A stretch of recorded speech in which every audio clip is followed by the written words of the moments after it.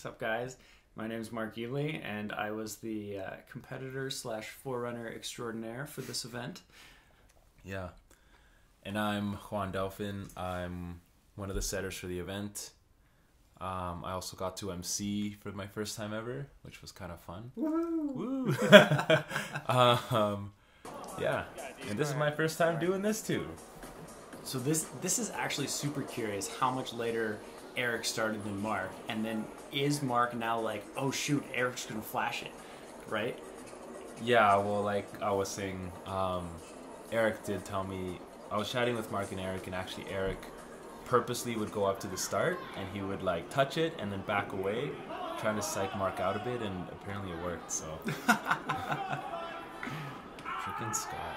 Mm-hmm. When that guy screams. Yeah, he he really means it. That was actually his second time up there. And the first time he fell off the pole, and I'm like, oh no, is he gonna do it? Because he needed that problem to make finals. Yeah. I really enjoyed this one. This one's actually my boulder, and uh, I thought it was pretty. It had kind of an uncommon move on it, and Mhm. actually kind of stole it from my North Face Cup. Oh yeah. Yeah, and uh, but, I mean, it's not a move I haven't set before, but it was just inspired by that video that I saw the North Face Cup and brought it to the comp, and it kind of hammered the girls a bit. Yeah, I think I I never obviously never got the chance to climb the girls' problems, but it seems like they were hard, and the girls got maybe shut down in ways they didn't expect. Yeah. Like that, uh, well, we just missed it, but that golf ball on the IX volumes there. Mm-hmm. Oh hey, I get, I get to be in the video. This is pretty cool. You can you can watch me get mad at this problem. This is the one problem I didn't do. Hence the Is it forwarding really? aspect. Yeah. Huh. That one was mine. Well, I, I can blame you for not making finals then. No, it's all Ty's fault. he's, a, he's head setter. I'm merely a pawn. This one was really tricky. This men's one is um. Well, we- do, do you know? Do we know how many tops there was on men's men's one across both groups? Because they were they were almost the same problem. And I noticed you you guys tried really really hard to make it the same, but it just it wasn't there quite was some there. slight differences. Yeah. Mm. Is that even possible to know? How many tops each of them got? Uh, I don't know. We'll we'll figure that out somewhere, and Walson will put it on screen for us. Actually, it's coming up in two seconds. Is it? Whoa. Oh, Yeah. that's the quality score. Yeah. Yeah. Wow. Girls got hammered. That's Mhm. a. That was not a. the guys the guys actually had a lot of tops like four guys with you know four tops in not too many attempts Yeah. you really had to be on your game to make finals this round so men's qualies was actually a huge challenge because um, we actually had 70-ish men around there and because of that we had to open up a second qualifier for men's um, kind of on short notice so it's not like we just all of a sudden had more wall space so this kind of meant uh, first of all there was top three men in each group got to go to Mhm. finals because we didn't have Yeah. a semis that made it rough for the competitors for sure yeah, and then you guys only had four problems instead of fives in your qualifier round, which Mhm. definitely meant every single attempt was that much more stressful. 80 men. 80 man. Jeez. So you can you can withstand withstand this comment or not, but like stream A, stream B, which ones are? Uh, Or you think it was pretty? Like obviously you try to make it the same, yeah, that's a tricky question because I, it's really hard as a route setter to put yourself in that perspective of having five minutes on a problem. Um, when we were forerunning all of them, we actually thought the entire round was pretty soft. We were scared people were gonna tie with like topping everything. We were like, oh shoot, we're gonna have ten people in finals. Um, so luckily that didn't happen. so that's every route setter. Route setter's nightmare. Yeah, exactly. So, uh, I think I thought they were kind of even, but maybe what group, what group were you in, Mark? i was i was in the a group and i think after looking at the results a little bit the b's looked a little bit harder Um, but I think the the bees was more you know reasonable overall. I feel like the the A's managed to shut a lot of people down. Either you understood the problem or you didn't. Whereas Yeah. the B's, it was a little more about strength. Yeah, I felt actually men's A was harder in the end. Really? Yeah. So let's break this down. So we've got Robin, Mark, Tyson, Scott, Eric, and Dan. So who was in Stream A and who was in Group B? And Group B? I think if you scroll up, we can double Robin, check. Scott, and Eric were all in A, and Mark Tyson and Dan were all in uh, B. Dan actually managed to uh, sneak in there after not competing all year, or even Yeah. I believe years previous, and he just decided, screw it, I'm going to train for the next two or three weeks, and he just weaseled his way in there. So it was kind of neat to see, like you know, more of an old school climber make finals again. So Yeah. That was Actually, really cool. when I saw him not get uh, the first problem, I kind of thought like, oh, I guess that's it. You know, Yeah. I thought you needed that one to get in, and I Mhm. kind of looked away, and, and I looked back, and yeah, he just he just oh, snuck he's his gonna way make in it. there. yeah, that was tight. The epitome of off the couch. Yeah, no doubt. Uh, so over to women. Uh, Alyssa, Eva, Paige, Amy, Min, and Lisa. Now there was no streams. I think we should mention. No, Um, so no there was no Group A or Group B. There No, because yeah. uh, the total the total women I think were just under thirty. Is that correct? Thirty-eight. Thirty-eight. That's pretty Yeah. good. What's a what's a full round? Fifty. 60. 60. I, IFSC rules is if you have more than 60 competitors, you have to run two streams. And so for every single World Cup nowadays, they're basically running two streams for qualifiers. Yeah. Great. Okay, so getting into finals. Uh, first up is going to be, I believe it's Lisa. Yeah, Lisa Vandeping and Dan Archambault will be the first climbers up. So how the format's going to work is we're just going to show women first, like uh, first female, and then on on deck, and then first male on deck, and just go back and forth. Mm-hmm. Makes sense. There I am. Wow. Yeah.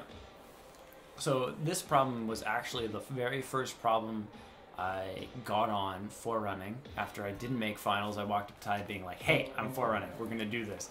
And uh, I think I hope it was much much appreciated among the route setters. But this was the first problem, and right away we knew that there was issues because there was a lot of concern about whether the girls could reach some of the movement because you know me being guy over six feet, it was relatively easy for me. Um, so Ty actually made a bunch of last minute changes to the feet, mostly to uh, make sure that this problem was feasible for all the girls, and I think it was a good decision. in the end. I'd agree for sure. Actually, one thing to note would be I was actually really happy that in both the men's and the women's, um, um, Robin McMillan and Amy Sully both made it into finals. To me, that's like huge success considering they're some of the shortest in, in their groups. right? Mm. They're both they're both really short, but also really strong. And to give them the, the chance to excel, they will certainly take advantage of it. Yeah. That's a good point. I think that is just fun. Yeah, I was stoked to. It all. It's almost. It on as a route setter. Mm-hmm. It felt a little bit like a validation, you know, Yeah. because it any because as route setters, and you understand this as a route setter as well, that you get that comment a lot. Maybe Yeah. things are too reachy. Yeah, it is. It is far easier to set something that is harder for short people than it is to set something that's hard for uh, tall people. Yeah.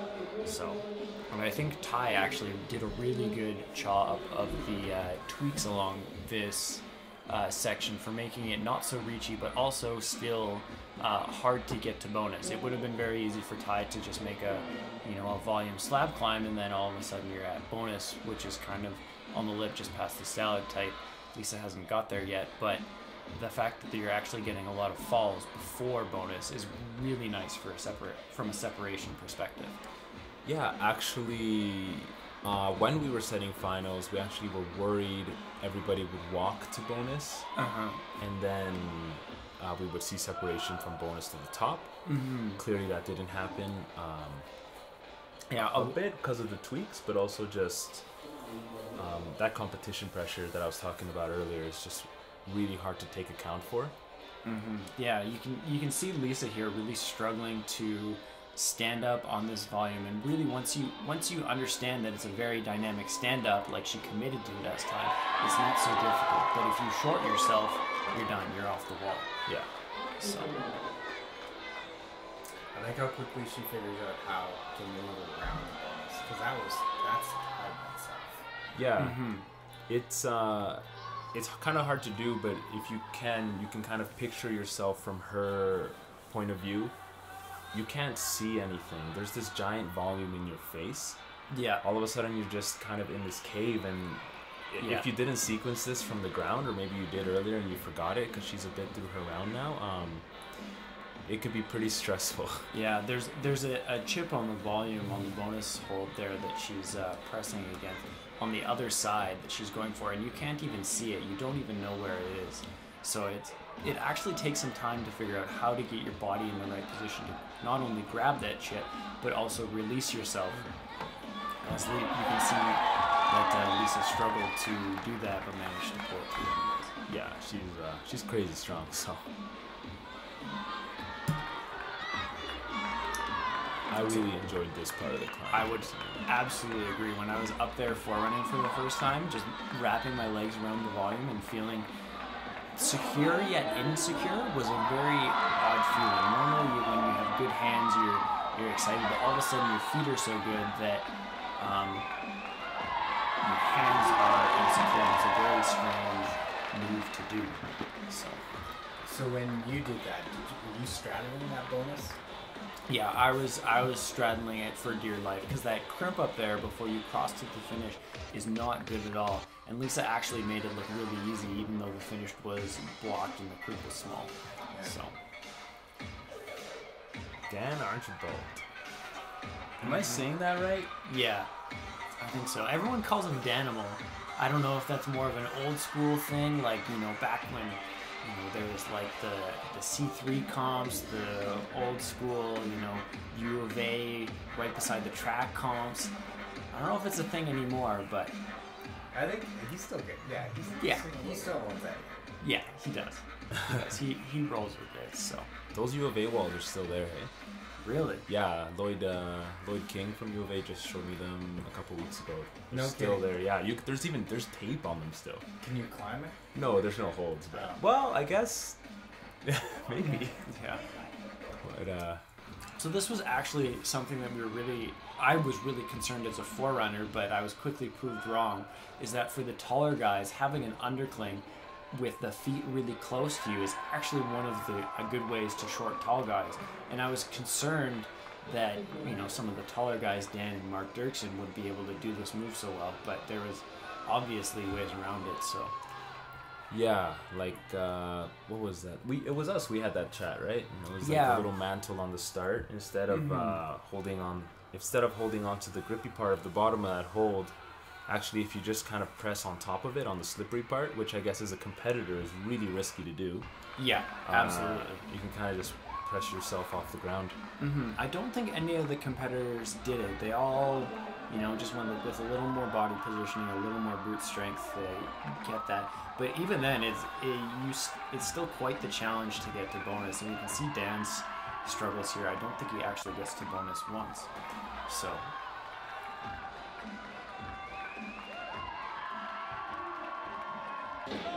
Give you guys a second to settle in. Time starts in three, two, one,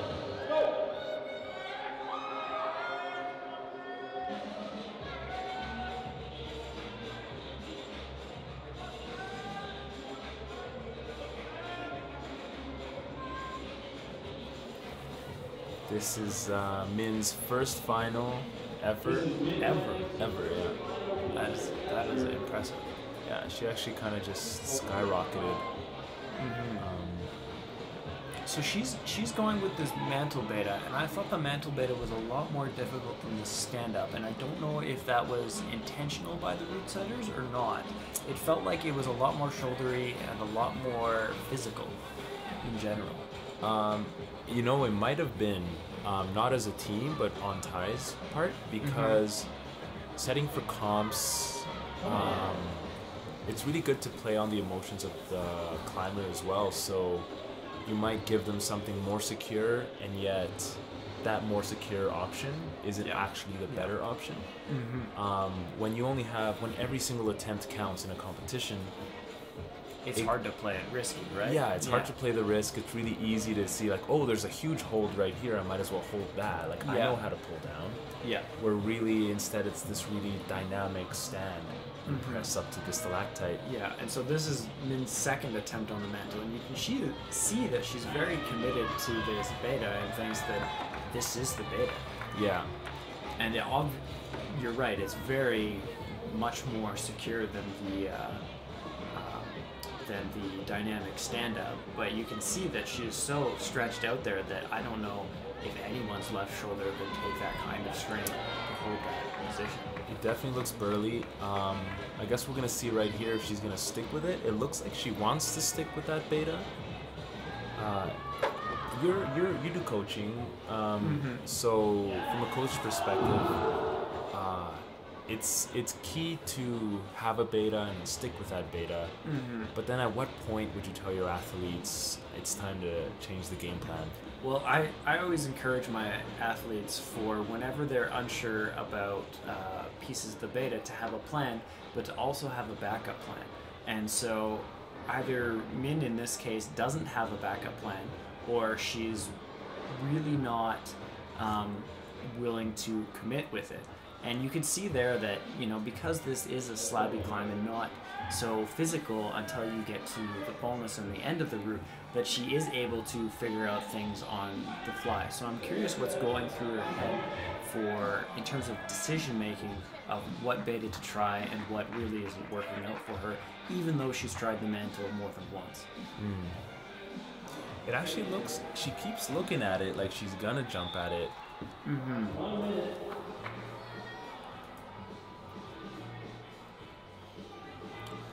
She definitely has the skill See, set to do it. That's such a physical position. Yeah, there's she's there's two fingers. There. yeah, she's she essentially needs to be on top, you know, on the top half of an iron cross as opposed to beneath an iron cross, and I I can't imagine myself pulling through that section to keep going. That would be a, a worthy send if she managed to do that. That'd be some crazy power. Yeah, so you, you can see that Min didn't even walk away with bonus, and I think it was maybe that indecisiveness that caused it. So here we have Eric Sethna, who actually qualified much lower in the round that we would have than we would have had expected. He wasn't able to top Min's A3 because he was in the A stream, and we'll see if he can uh, pull up a few places over the course of this finals round. I, I certainly think he's prepared to. So It's it's really interesting having somebody with the the level of experience that Eric does. We really count on him being in finals. Um, the fact that he didn't, that he almost didn't make finals, had us pretty stressed out for a little bit. Uh, obviously, some of the problems are quite difficult as the round progresses, and we were kind of counting on Eric being there for these problems to to put on a bit of a show for the for the crowd. yeah, if, if you don't have you know a, a competitor you know you can rely on, it becomes a big risk to set a harder problem for sure. So here we can see uh, Eric's finally got bonus after his first attempt. I was kind of shocked that he struggled with that uh, first section. It's it's not too difficult, but it's not a gimme either. Yes. So actually, actually, if, if we pause right there, we can see um, that if you go back just one, one, uh, just a little bit there to where Eric's barn dooring, you His can actually see his his left foot pulling himself out of the wall, and he wasn't able to keep that in in control. And as soon as you have a leg that's starting to flag out because you're off balance, you're done. You know, there's no chance of you recovering from that body position.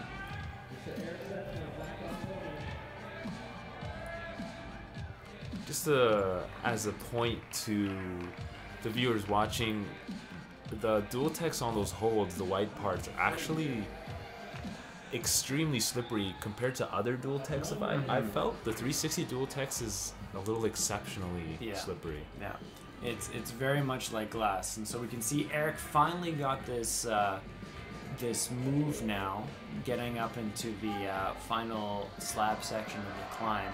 But we'll see here in a second that his flexibility is really not up to par, and it, it really hosed him on this climb. And I think I don't know if he's been working on that or if he accepted it, but you know the uh, the old school alpine knee is really not the solution. Yeah. Anytime I see anybody on an alpine knee, I think like it's a nice, comfortable position to be in, Yeah. but getting out of that position is is pretty tough. No, and that that blocks hold that he was trying to hang on to there, you know, it, it's almost useless in terms of that position. I believe it's the worst one in that set of holds, and so it's really not there to help you. Yeah, Amy Sutley. So I believe she's the, without a doubt, the uh, shortest competitor for the girls, and I think there was definitely some concerns on the route setting side because you don't want to hose her because something physically she physically can't reach, but at the same time you don't want to make it so that there's a huge advantage for the taller competitors either. It really puts you guys in a tough position. Yeah, when you have that size, that difference in size, you really want. You kind of want every climber to have a similar beta, maybe not the exact same beta. Um, actually, oddly enough, in this problem, I'm pretty sure the the beta or any variations to it are all pretty similar. Yeah, so I, I think I think Amy I can't remember how well she did, but she was certainly able to, you know, get the spirit of the problem and it, it would have been something that was she was capable of. You know, there's no reaches that she were impossible for her things like that. Yeah, I do think though it was a little more difficult for her this Mhm. problem. Yeah, and I mean I mean She height- decides to go low. Yeah, height always plays a factor, and a lot of the girls, you know, are generally shorter. None of them are exceptionally tall, and so mm-hmm. it, it, it doesn't play too big of a factor, but it's still noticeable and something you have to take into account when you root set it. Yeah, Right. definitely. For the men's, it was a little, a, a lot different. You Yeah. had Mark Dirksen and Robin McMillan in the same round. That's I don't I don't even know what what's the difference in that a, a foot, more than a foot. Of, of more than more than a foot. More than a believe. foot. Yeah. So here here Amy's going with a uh, slightly different approach than Min to the mantle beta, and we'll see if she can uh, pull it off here. It's looking pretty good. She's actually able to get up on the hole, and this is one of the places where Amy's size actually. Uh, benefits her is that wall above her is slightly overhanging and so a taller competitor is going to be pushed out farther from the wall just because they can't fit whereas amy is really able to fit in that space and get a full mantle on that uh, circular delay volume there Yeah. Anything like that takes so much effort. Um, honestly, I think if she would have gotten the press, she would have had to. She would have had to stay there for a little while just to catch her breath. Mm-hmm. So I'm, I'm curious to see what she tries next. You can see she's thinking about it, and she really want. Well, it looks like she wants to go out with the uh, right hand press, but we'll see what sort of body position she's able to get into by the time that she gets there. And that that right there was 100% a wasted attempt. She pulled on and got right back off, and I think that's just a matter of not resting enough in between problems. I don't know the exact timing, but I would say she rested less than 30 seconds in between attempts there, which is really hard when you have such a physical mantle as your beta. So, as a coach, would you obviously you can't talk to the athletes while they're climbing, but would you have advised perhaps forget about the top mm-hmm. and let's go for the zone? So rest up a little longer.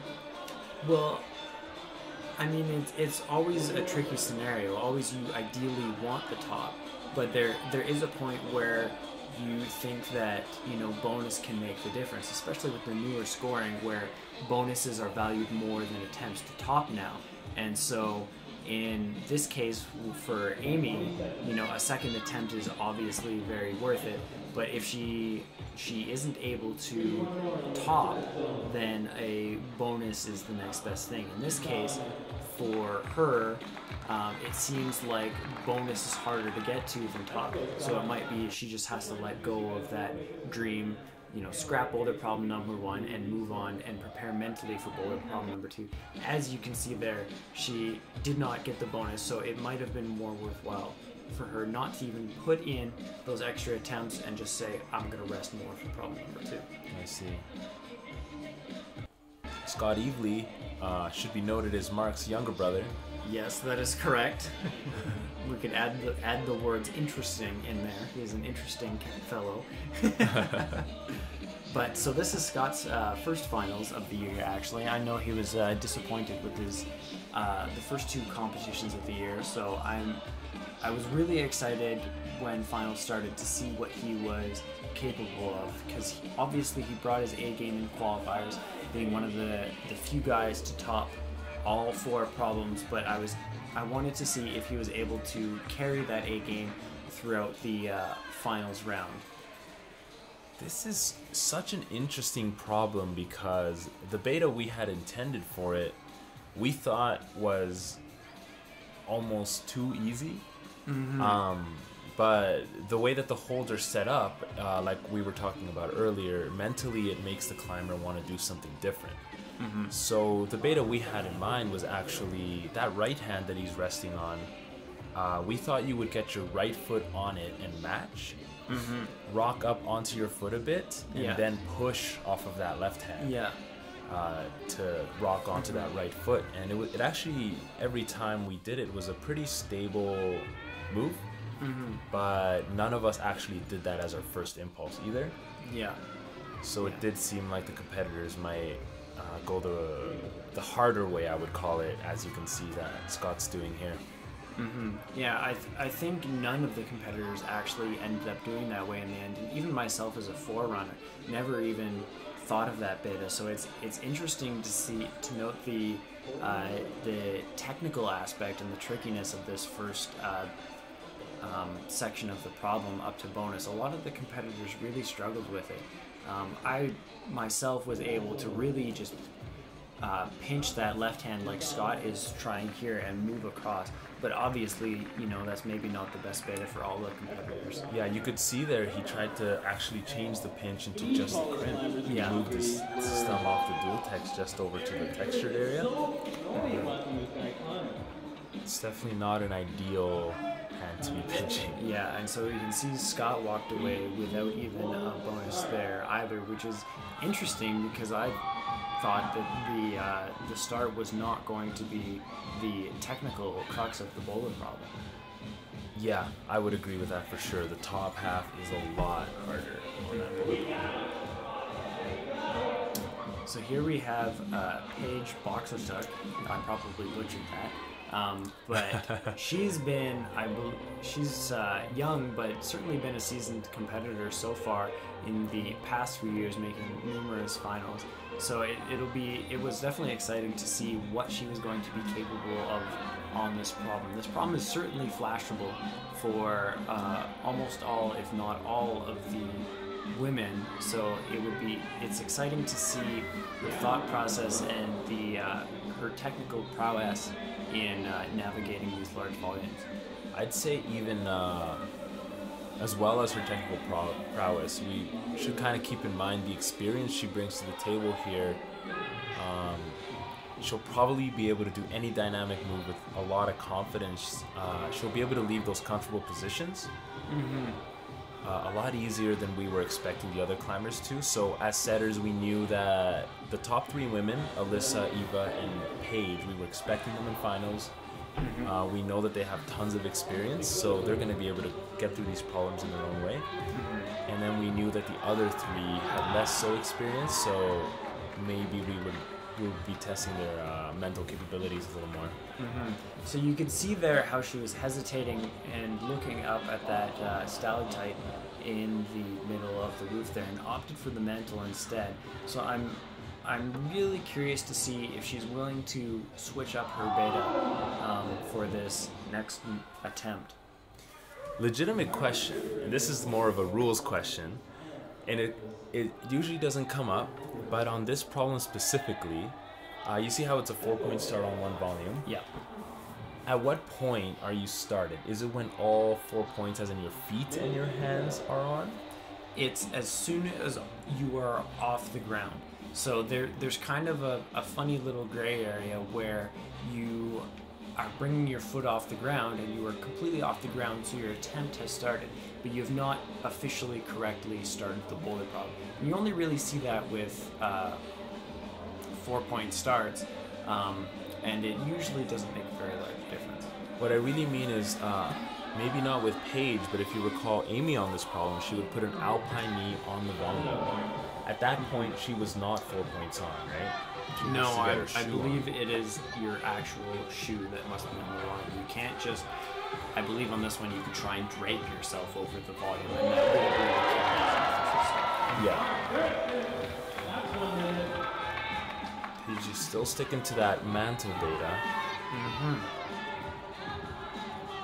Which is actually a little surprising for me. Yeah, I, I would agree. You can you can see the difference between her and Amy on this mantle though. She's struggling to get up into that same position as Amy, but she might be able to use that little bit of extra height to get her back across. There it is.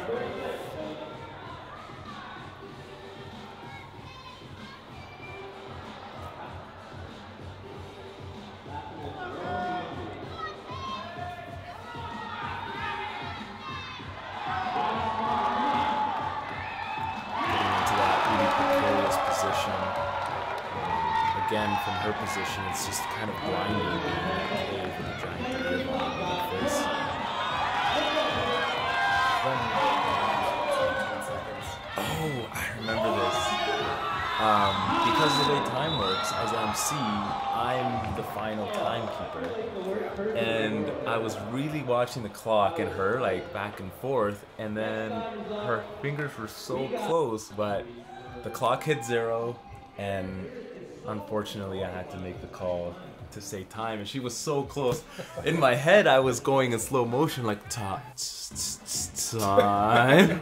you know, I really, in climbing, you really root for every competitor, and it was, it was just such a bummer to be the bearer of bad news there.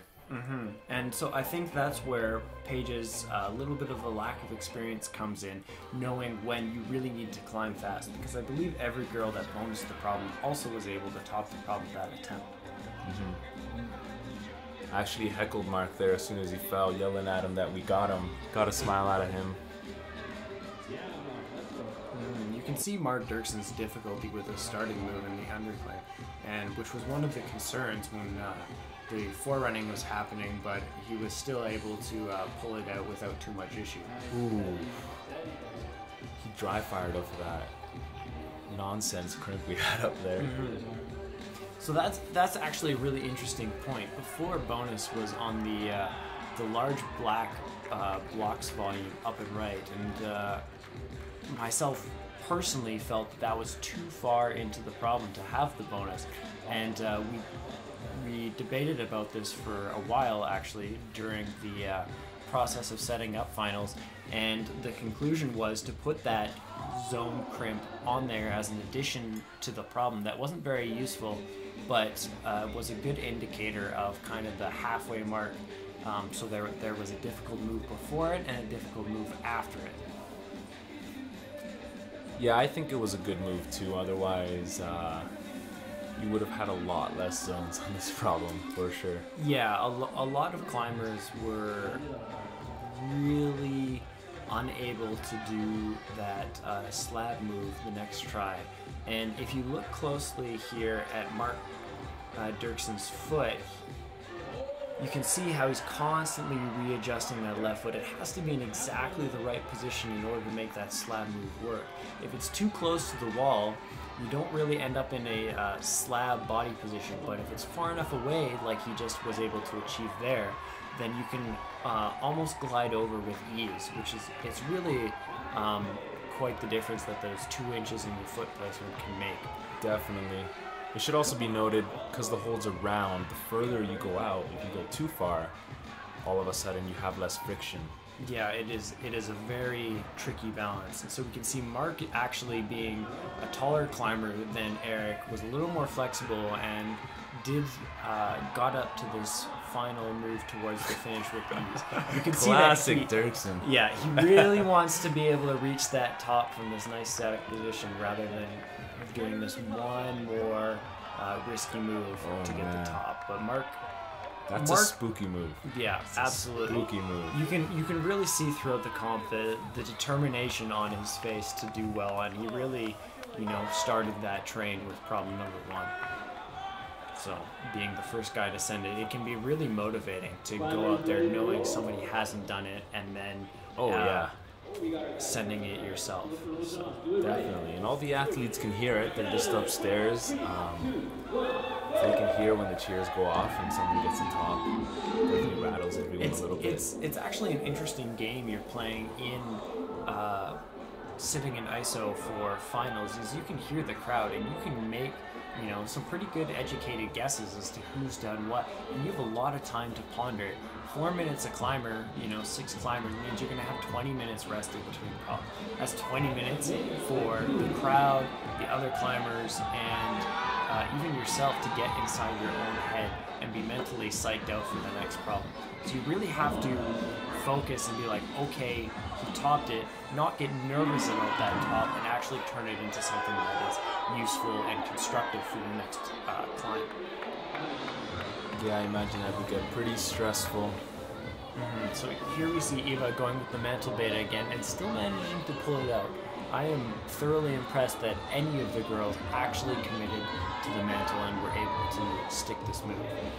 Yeah, it takes a lot of power. Now we're kind of getting into the top two women in the field here, and really it feels sometimes when we're setting comps uh, for the women's side, we're really trying to see who's going to win it, Eva or Alyssa. Yeah. Not to discount the other women, but those two are just so powerful, so good at climbing that they're they always have a really good shot at taking uh, first place. So, and so I think Eva here gets the uh, first flash of the comp almost with no issues whatsoever, which is compared to the other women is truly impe- impressive that she pulled that off. She gets to try. Oh, I remember I put the chair too much of an angle. Got in trouble here because it was Yeah. because the problem was facing the the couch was facing the other problems. Yeah, the head the head judges are gonna be uh, picky, making sure everything is fair for all the competitors, even with the uh, the extra fun thrown in. Yeah, that thing's pretty comfy. Got it. I kind of I. If it were up to me, every gym would have a few of those kicking around. That'd be amazing. Tyson Martino, did he just get back from his trip down in the states, like just in time for this comp?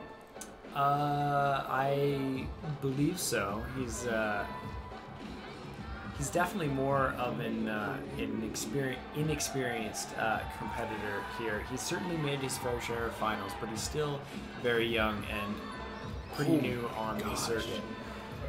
That was strong. That left arm lock in there. hmm You can see a, a lot of other competitors really struggling with that move, and Tyson decided, you know what, I'm gonna do this. He's just committed to that beta, Mm-hmm. as powerful as it was. Ooh, he didn't commit there. Yeah, you can you can actually see how Tyson wasn't able to dynamically go far enough, and there was almost a sense of falling backwards for him in that position. With that step over move, actually, there's two ways to do it. Uh, the first way, which is the way most competitors are going to try and do it, is you push with enough momentum that you should be able to come over that, um, what I'm going to call the critical point, that like Yeah, standing yeah, straight yeah. point. You should be able to have enough momentum to, to kind of pass through that, stick your right hand out for that lower ball, and have the left hand go up to the blocks volume. But actually, the other way is to just have just enough momentum to stop. Yes. Hands free, standing on that one on that one uh, 360 ball. And I, I certainly think we'll see some really good uh, demonstrations of that later. Even though Tyson did not walk away with the top, he was, I believe, the only person to uh, bonus that problem first try for the event, which was quite impressive. So here we see our top competitors, uh, Robin McMillan and Alyssa Weber, walking out. I'm really curious to see what they're able to achieve on these problems, having qualified higher rank than everyone else. Yeah. Strong girl. She is really good at just turning on that fire for competitions. I've set problems for her specifically in mind at the gym before. Um, I've seen her climb at the gym, and it is night and day. Her at a gym session and her at a competition like here or at like Block Shop Open. It's just crazy to see this girl turn it on and climb really hard. Yeah, Alyssa Weber is absolutely not afraid to commit hard and try hard because she, you can see it. She wants to win and she Yeah. will, will do anything she can to win. Yeah, she actually, if you ever get a chance to see her live, um, when she's competing in finals, you'll notice it's very hard to get this girl to smile. um, she Yeah. is focused, fully focused, and I can definitely respect that walking up to the problem. And then afterwards, sometimes she'll get let let a smile go. Yeah. I, I the tiger, exactly.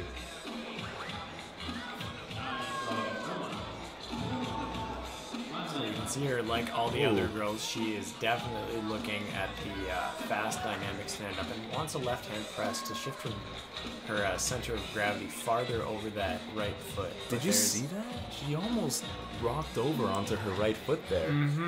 it, it in in a different you know scenario in a different day that might be the way to do it but there there's just not enough um, purchase on the wall there and you can see she she falls going for the dynamic stand up because you can you can pay close attention to her hips and see that her center of gravity is not centered between her feet and her hands in that body position Yeah.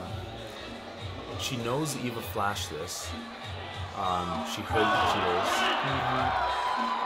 I wonder.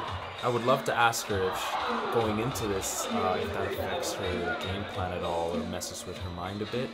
Because she just seems so focused. It's hard to think that it does, but obviously it would have some effect. Yeah, I, I think being being a uh, competitor and being in this exact scenario where you know you know that the the uh, the athlete in front of you topped the problem and did it quickly. Um, it's it really puts the pressure on being like, oh shoot, you know, I'd I'd better do it. I'd better not screw up. And that extra little bit of pressure can be um, what it takes to uh, um, send you flying off the problem. Yeah. You know, it's kind of funny. I kept seeing it and I kept forgetting to mention it. Um, when the girls were looking up to that stalactite for going, they kept putting their left hand on the wall. And right there, there used to be a sloper, actually. Yeah. There used to be a sloper there that would help them get up. And it's kind of interesting watching them all put their hands at that exact spot where they would need something. Yeah, that was one of Ty's uh, last minute changes to kind of accommodate the uh, the different walkthrough that uh, the girls now have to do. Originally, that AIX uh, stacked uh, blocked volume there wasn't uh, present. Instead, it was a much worse Delir volume, and the girls were forced to press into the stalactite much earlier than uh, they are now.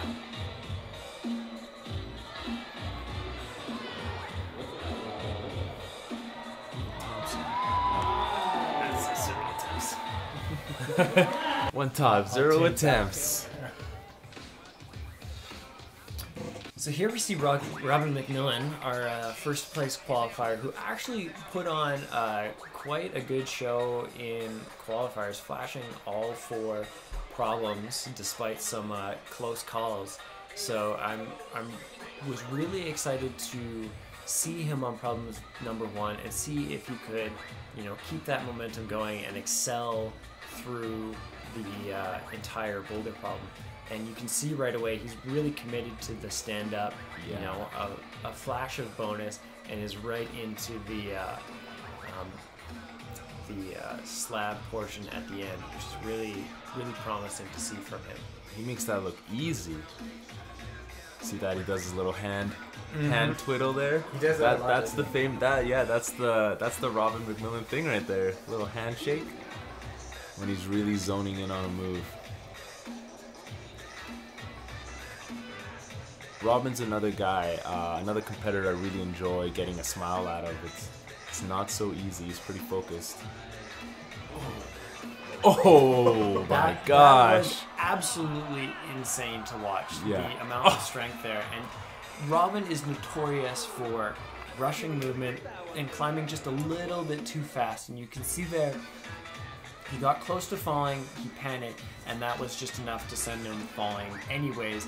Because on a slab climb, you really, really have to be pay attention and be extremely delicate throughout all the movement. You lose focus for one second and you're done. Oh, there he is, back, back where he fell last time. See him grimacing. That is not an easy move there. One, mm-hmm. one advantage as a shorter climber is when you do get an alpine knee, it's a little easier to turn that alpine knee into something that'll keep you going. Mm-hmm. And so you can see Robin actually being really smart there, looking at the time. He knows he can camp out here for as long as he needs to until the time runs down. So if he had only you know five or ten seconds left, he would be much more willing to rush the second this section of the problem. But I believe he had over a minute left, so he was willing to take his time and really figure out how best to approach this move. Look at that backwards two fingered crimp. Are you kidding? Jeez. That was a nice quick send from Robin McMillan. McMillan. Strong start for him. And with that, we're done problem one, actually. So. Right out of this uh, kung fu movie with his two fingers backward, two fingers. That was crazy.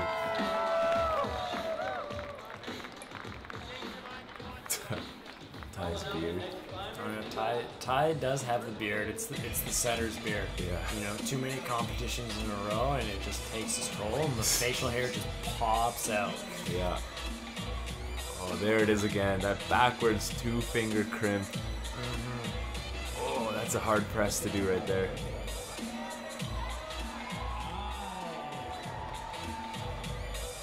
Jeez. Lisa, Va- Lisa Van de Payne, the first woman on problem number two.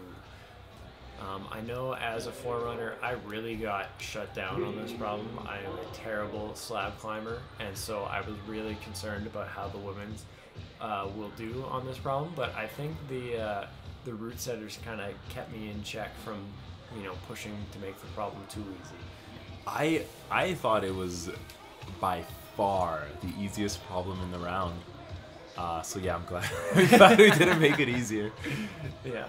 Well, I, I think the the one change that actually happened is that start hold that Lisa grabbed with her right hand was actually a little bit closer into the wall, and it was it was kind of frustrating because you couldn't uh, crimp it as well. It was a little bit blocked, not so much your fingertips, but actually your knuckles.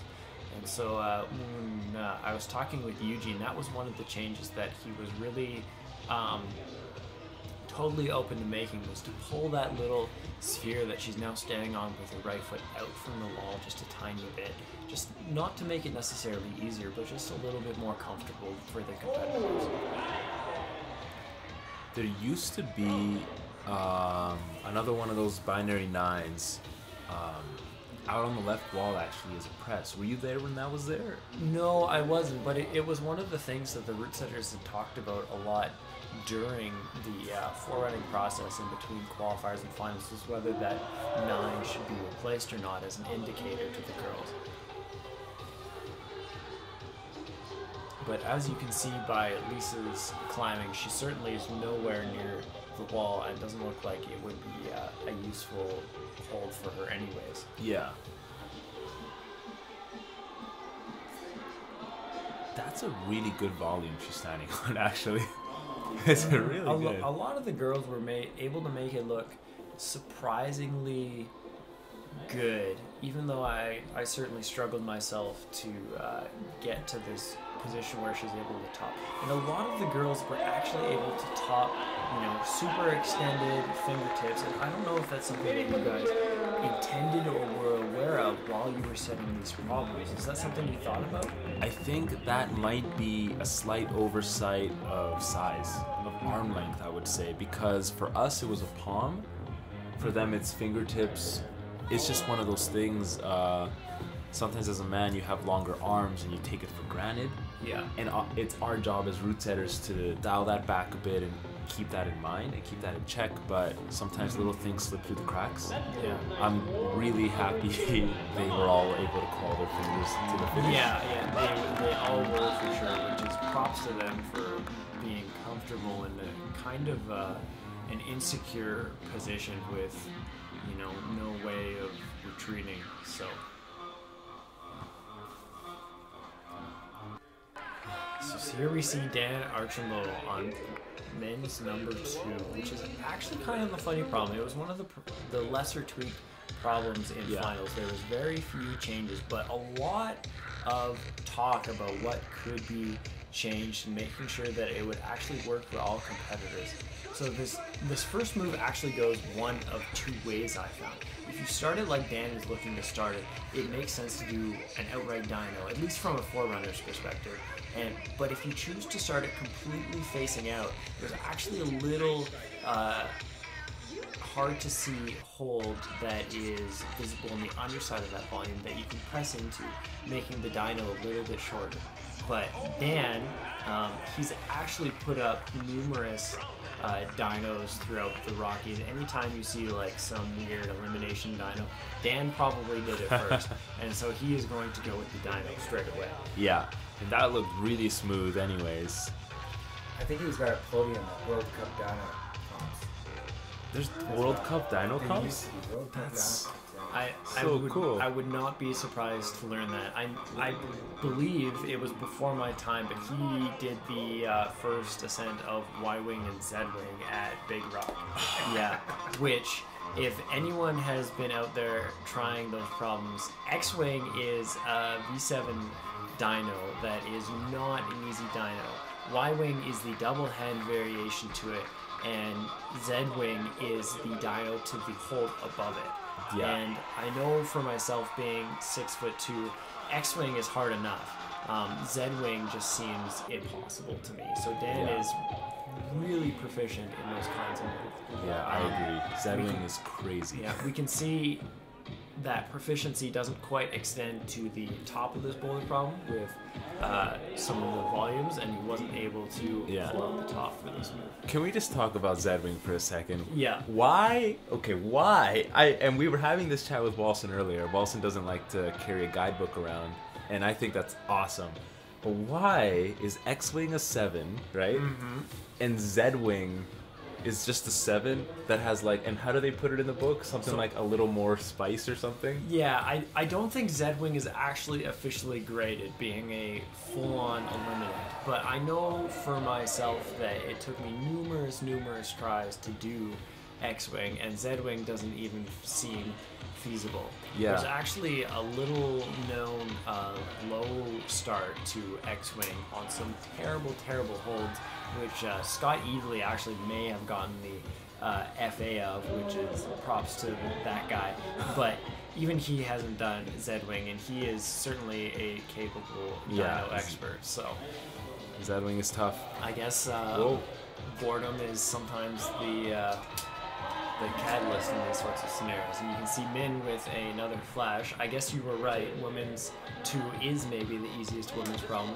Yeah. Although I, I certainly am not surprised that uh, some of the guys, particularly myself, struggle at these uh, technical sliding problems that the women seem to excel at. I gotta say, just from problem one and problem two so far, um, problem one maybe was a little bit out of Min's experience range, I would Yeah. call it. But Min did a really good job with problem two of seeing a problem that she knows she should be able to do and just doing it.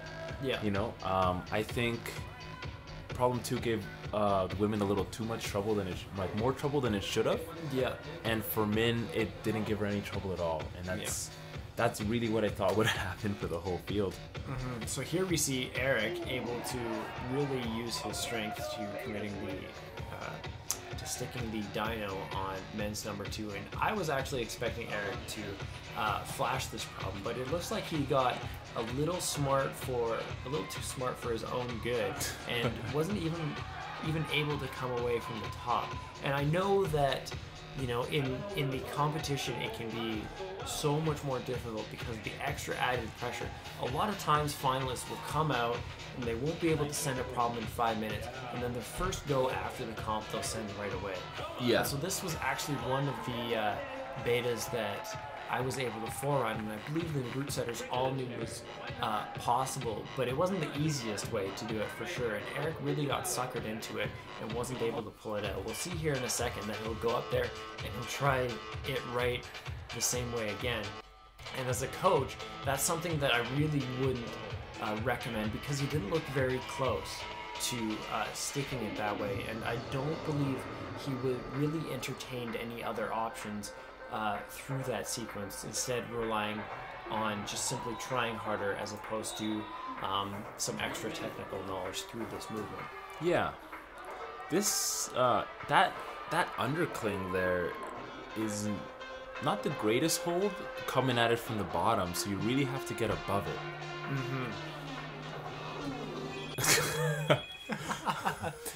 Here we have uh, Walson with some uh, phone business to attend to, so please excuse us I for a uh, quick Sorry. intermission. I had a huge brain fart there. I thought it said Walson, but it was your phone. It's like, why is Walter. Walson calling himself?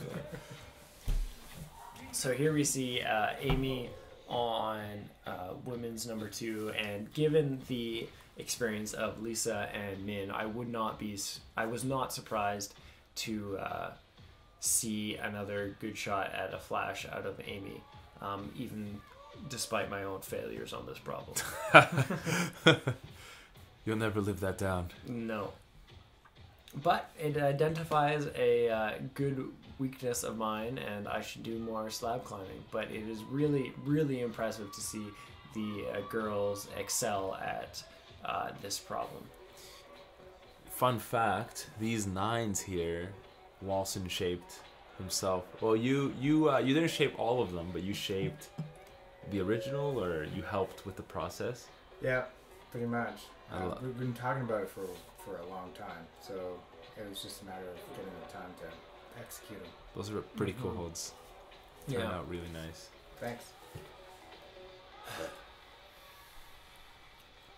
I'm not sure they were used anywhere else in finals, but they were sure, certainly used extensively in qualifiers. And you can see them up on the wall and the interesting combinations of nines that you can use to block other nines, or there's a, a whole set of crimps that go along with it that the route setters have used to block certain section of the holds or use independently, which is really cool to see the not only the consideration of the hold by itself, but the hold in conjunction with uh, its counterparts as well. It's interesting seeing Amy go for this uh, Gaston press onto that upper volume as opposed to just trying to crawl uh, onto that second volume. That second pink hold is actually really good as a perch. Once you get on top of it, you can kind of relax.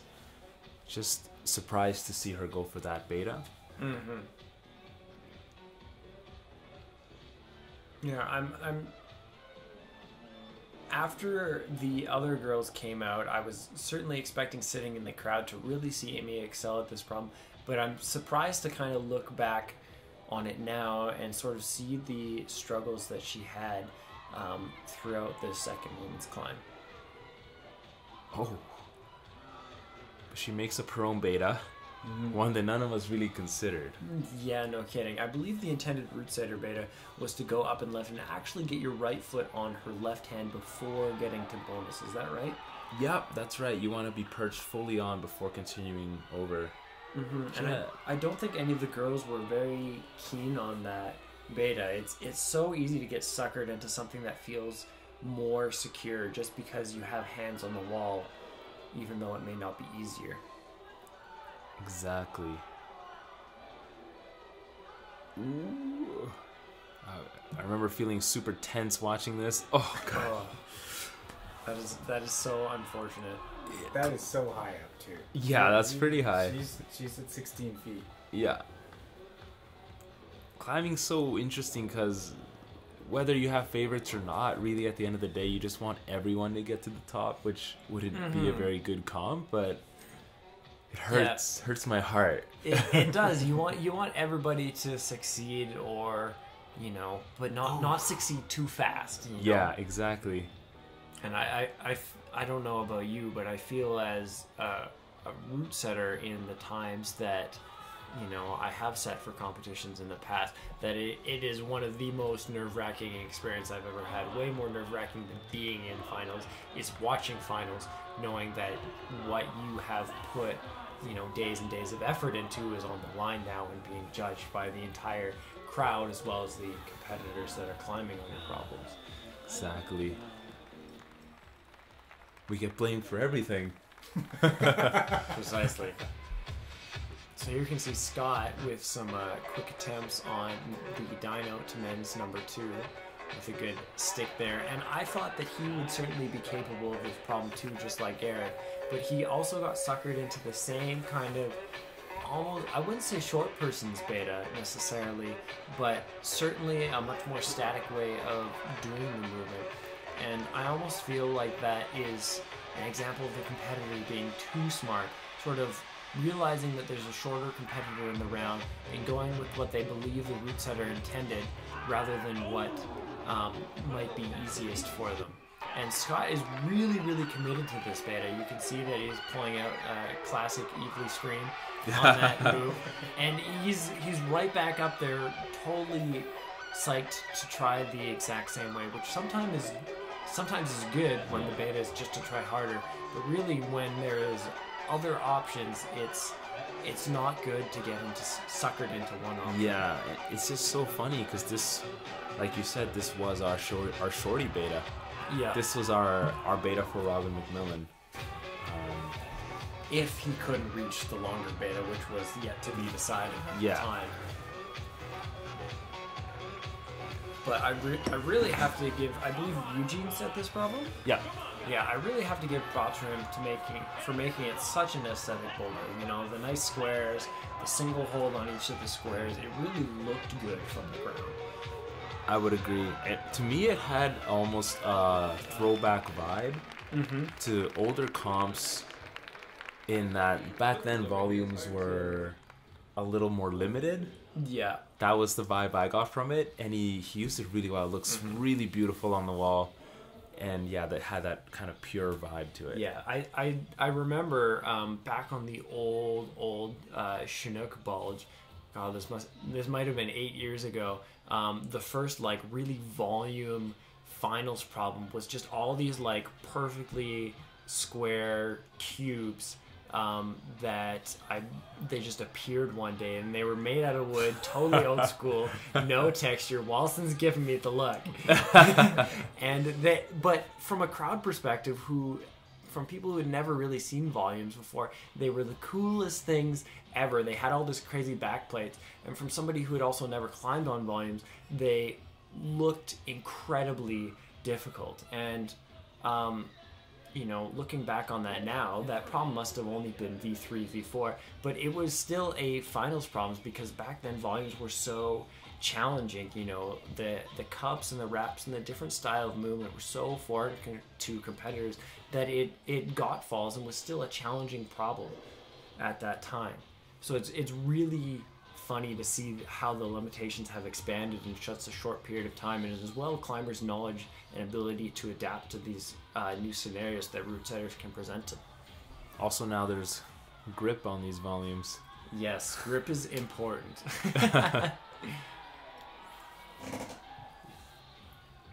if uh, any uh, viewers out there uh, remember the uh, Vision Climbing Gym in Canmore, that wall was entirely painted with paint, and that is it.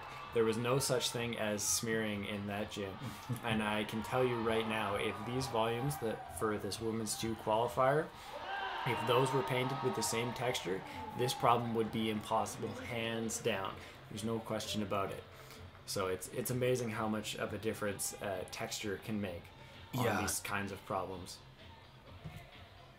You know, uh, just talking about texture, like actually, whenever I climb in other parts of the world, specifically the east, like Asia, their walls have like no texture. Really? Yeah, they're smearing on just garbage slime or something. I don't know. There's, just nothing on those walls. It's mm-hmm. insane.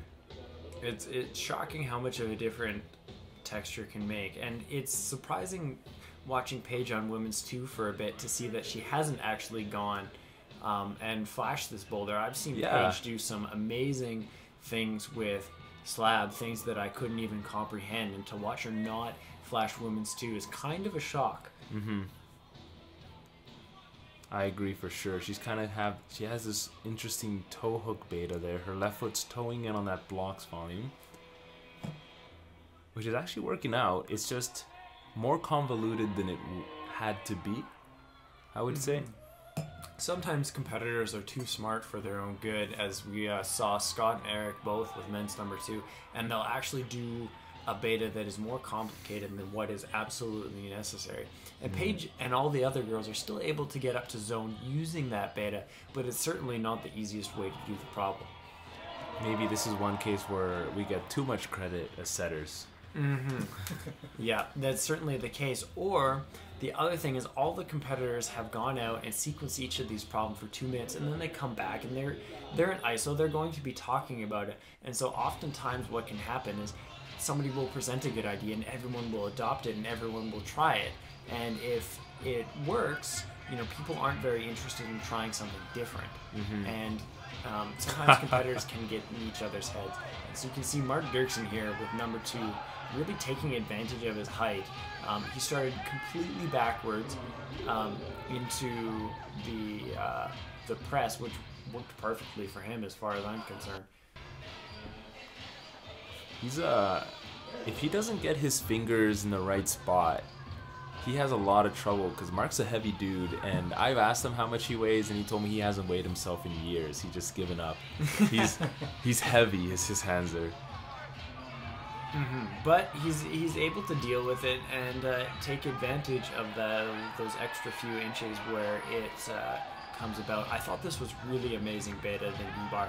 I didn't see it when I was forerunning these uh, problems, and I'm not sure if the route setters did either, but he did a good job. And here you can see the actual, you know, kind of taller person beta, which Robin may uh, have been able to do, as we discussed when we were forerunning setting. We weren't sure, but Mark not thinking things, you know, uh, thinking about things too much, but just going with the simple beta, taking advantage of his height and pulling out the easy top. And you can see that momentum continuing from uh, men's number one as he, uh, I believe he ends up being the only person with two tops throughout the comp. Yeah.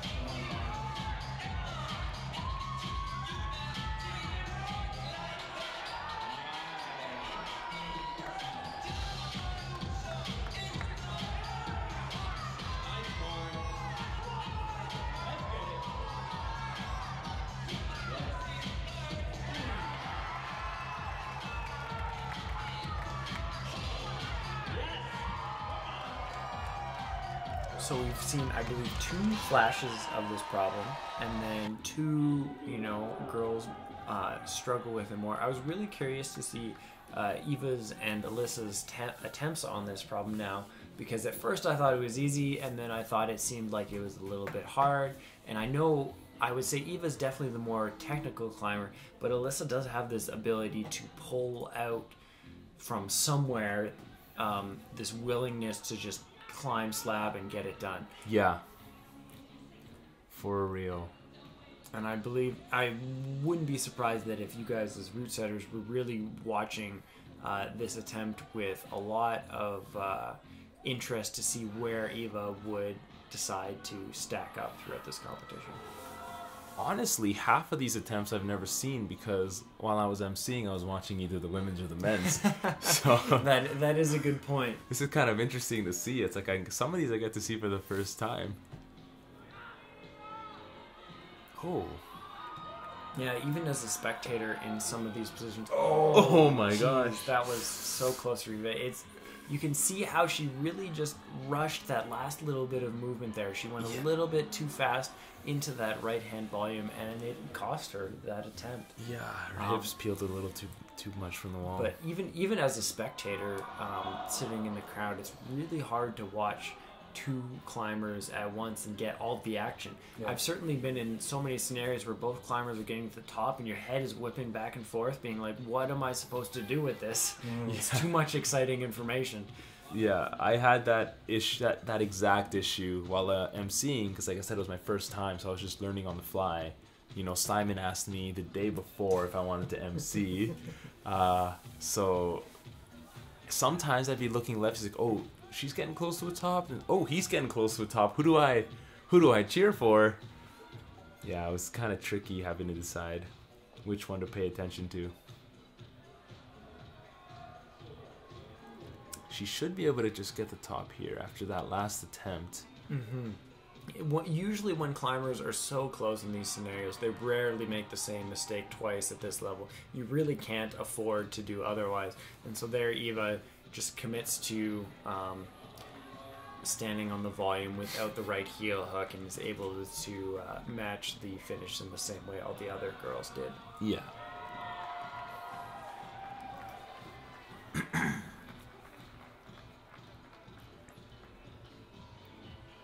He looks like he's having a lot of fun, Tyson, in finals. Like every time, I, he's, he's always copping a smile here and there. Yeah. Mhm. He's he's really good about that, but he, he's also extremely passionate. You can tell when he gets frustrated. His emotion is written on his face, and being as young as he is, I think it's even for myself um, and older athletes, it can be hard to control the emotions that you feel in uh, finals, and I think that's something that will really benefit Tyson in the future is uh, controlling that passion, using it to uh, his advantage throughout the competition.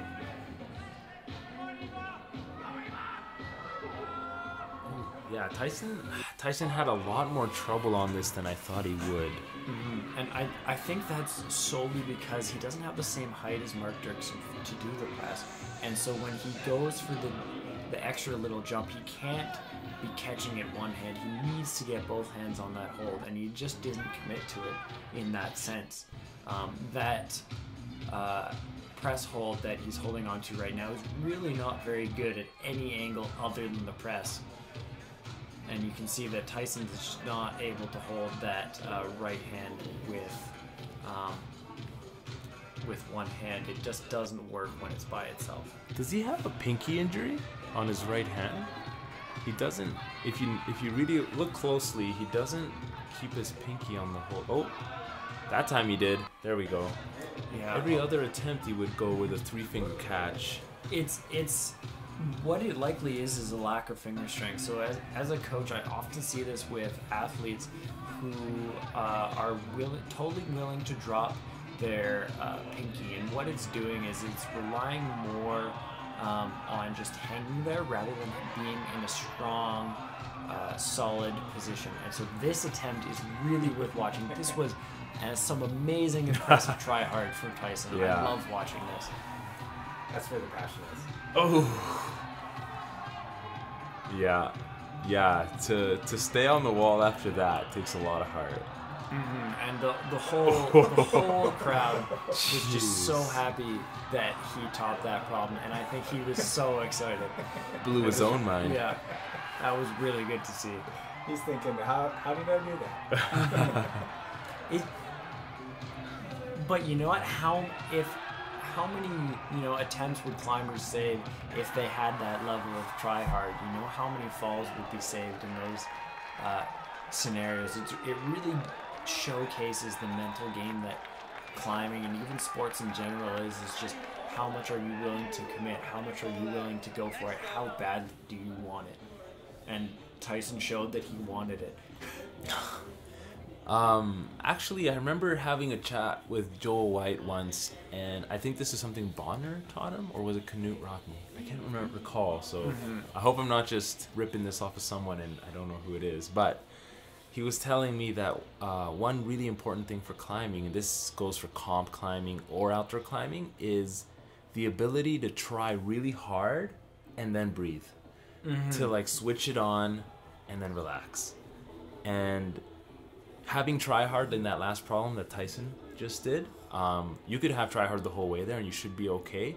Some other problems you might want, like the women's one, you have instances of relaxing into the movement, into try really hard, and then like once you start trying hard, believe me, it's really hard to chill out again, right? You almost have to remind yourself to relax. Yeah, it's it's it's almost always easier to demonstrate that on a, a route climb where you know you'll get through the crux and you'll get to the rest and you just have to breathe and chill and hope you can recover enough for the rest of the route.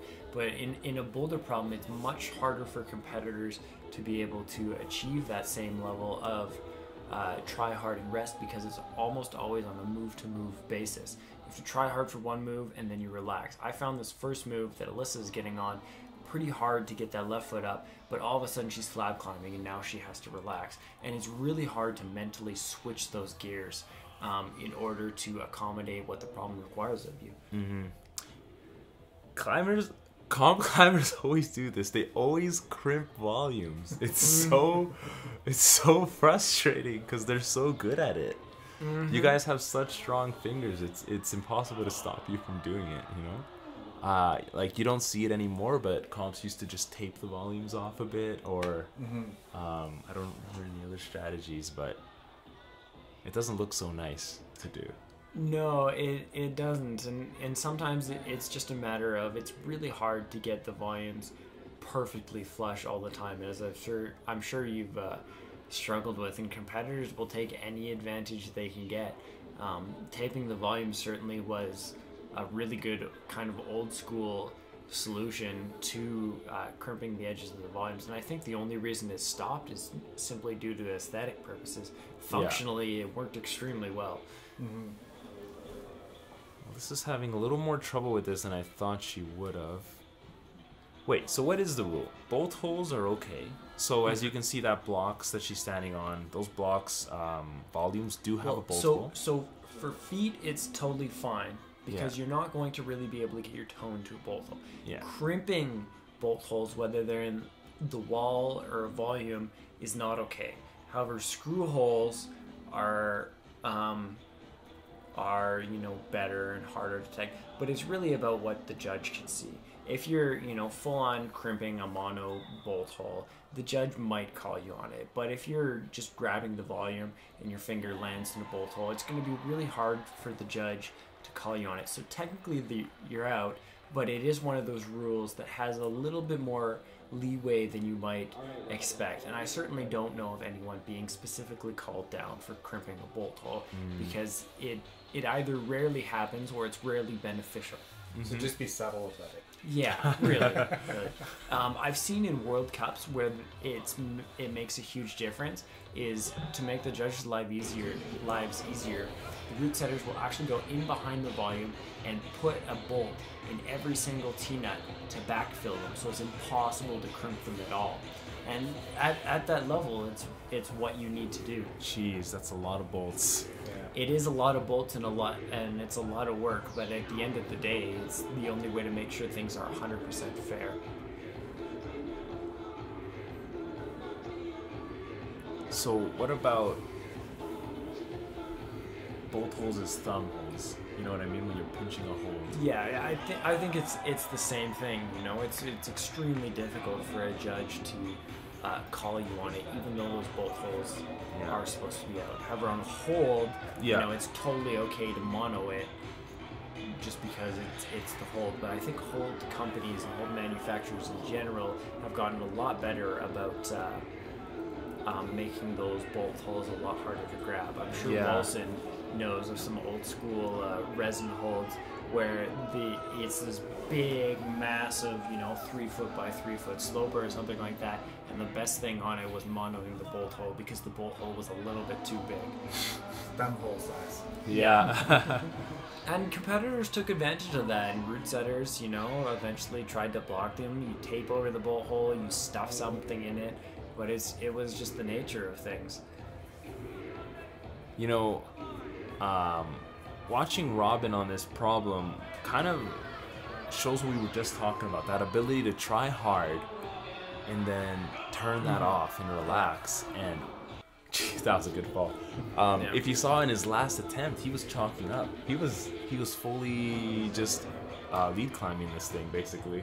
hmm And I think Robin is really, really good at turning things on, but he is not very good at turning things off. His, I believe, first or second attempt on men's number one really showcased that, where he was able to turn things on, you know, stick the uh, the move on men's one with a hard right hand press, but he fell right away because he didn't know how to slab switch things to slab climb and turn things off. Mm. It's a strong dude. Yeah. Jeez.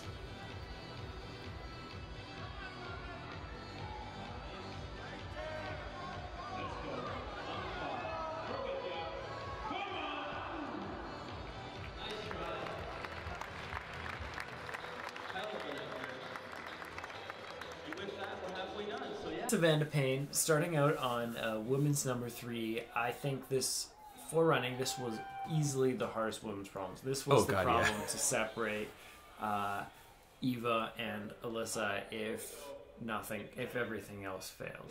Um, and I believe you set this problem one. This one's mine, yeah. Um, like with everything else, I think I thought the whole thing was uh, soft, but this one, you're right. This one, I was like, maybe this is the one that'll be tough. Yeah. But we were even talking right before final started about turning this landing hold they're going to this big blocks one worse. Yeah. We were talking about making it harder. So Yeah. And I, I think I'm glad we didn't. Yeah, I, I think so too. Eva and Alyssa were both able to uh, finish the problem, but um, watching Lisa and the other girls, it was really good to see them get really, really close. And I think if one of them had a little bit more try hard, was able to turn it up to that next level a bit more, maybe they would have been successful. But it just wasn't there that day. Yeah. And it was it was really interesting. One of the last minute changes was to actually make that tiny crimp a lot better. It used to be that slopey crimp, at least when I first saw it. I don't know Yeah. how many iterations this problem has been through, but I think it was it was a good decision to make it better for the sake of the girls. Yeah, it was. Uh, it wasn't even a slopey crimp. It was just a sloper, a slopey jib. yeah. Yeah, it was pretty bad. Oh, that's close. That was close. hmm And so I think I think Lisa really had the right idea, but just wasn't able to, uh, you know, kind of find that next gear to want to stick this problem. And I think she did better than almost all the other girls right up until Eva and Alyssa started to uh, climb, which was kind of it was good on her to really show that she wanted it, but it, unfortunately it just didn't pan out. Yeah, pan out. We spent pan. So That was a terrible. That was a joke, good jeez. so real question. I noticed you pronounce your name Payne? Pat Payne? I really don't know which one it is. I've I thought it heard was both. Pan, Van de Pan. Okay. Yeah. Yeah. Real question. I don't yeah. know. I don't know. As an MC, this I- is a thing I care about. I- Like with yeah. Backless Shock, every time I was like, Block Shock. Yeah, it, it's it's interesting. It's it's probably at the point where she's just tired of correcting people and like, yeah, Yeah, it all goes. yeah. So One will get it eventually. My my name's Juan. Living in Canada, I get Juan jokes all the time. So Mm-hmm. you know, I feel like an, I feel entitled yeah, to this. It's okay. As with Walson, Wilson, Winston, Walter, Re- Wilson, that, that happens. all the time. What? Yeah. That's weird. You got this, Lisa. Is that, is that to just top it off there? Oh, a little more wine. the important stuff in life. Thank you. Oh yeah, fish out. Wow. Woohoo. yeah, let's well, let's just get that on stream. Good good stuff. I have more, by the way. Oh wow, So that's Beautiful. become incoherent. I feel like one thing we need to clarify, just in case uh, the person watching, in case you're like you're new to climbing. I remember myself when I got into climbing, I watched tons of comp videos um, from around the world, IFSCs and locals, uh, all of it really. So if you're watching this and you keep hearing bonus and zone, they're the same thing. Uh, zone is just a new name. Well, zone is the old name for it, and then it became bonus, and now it's zone again. Um, but they're the same thing, really. for all intents and purposes. Hmm Yeah, it, it's kind of funny. Be, actually, I'm sure Walson can attest to this too. Climbing for m- climbing myself for over a decade, and Walson for over uh, two decades. Kind of the evolution of uh, Three decades. decades. Okay. Oh man. Oh, geez.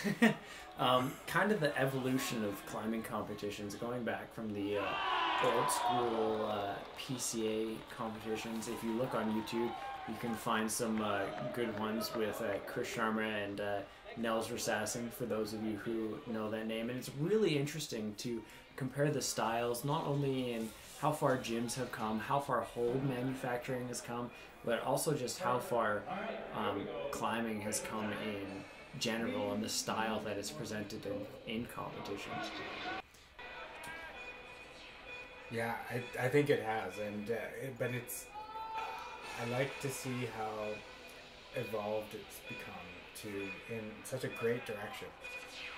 Like it, it could have gone the wrong way, and what what we're seeing now with the IFSC and the, the decisions that they made is really seeing some really um, great things happen with comps and just make it more exciting for viewers.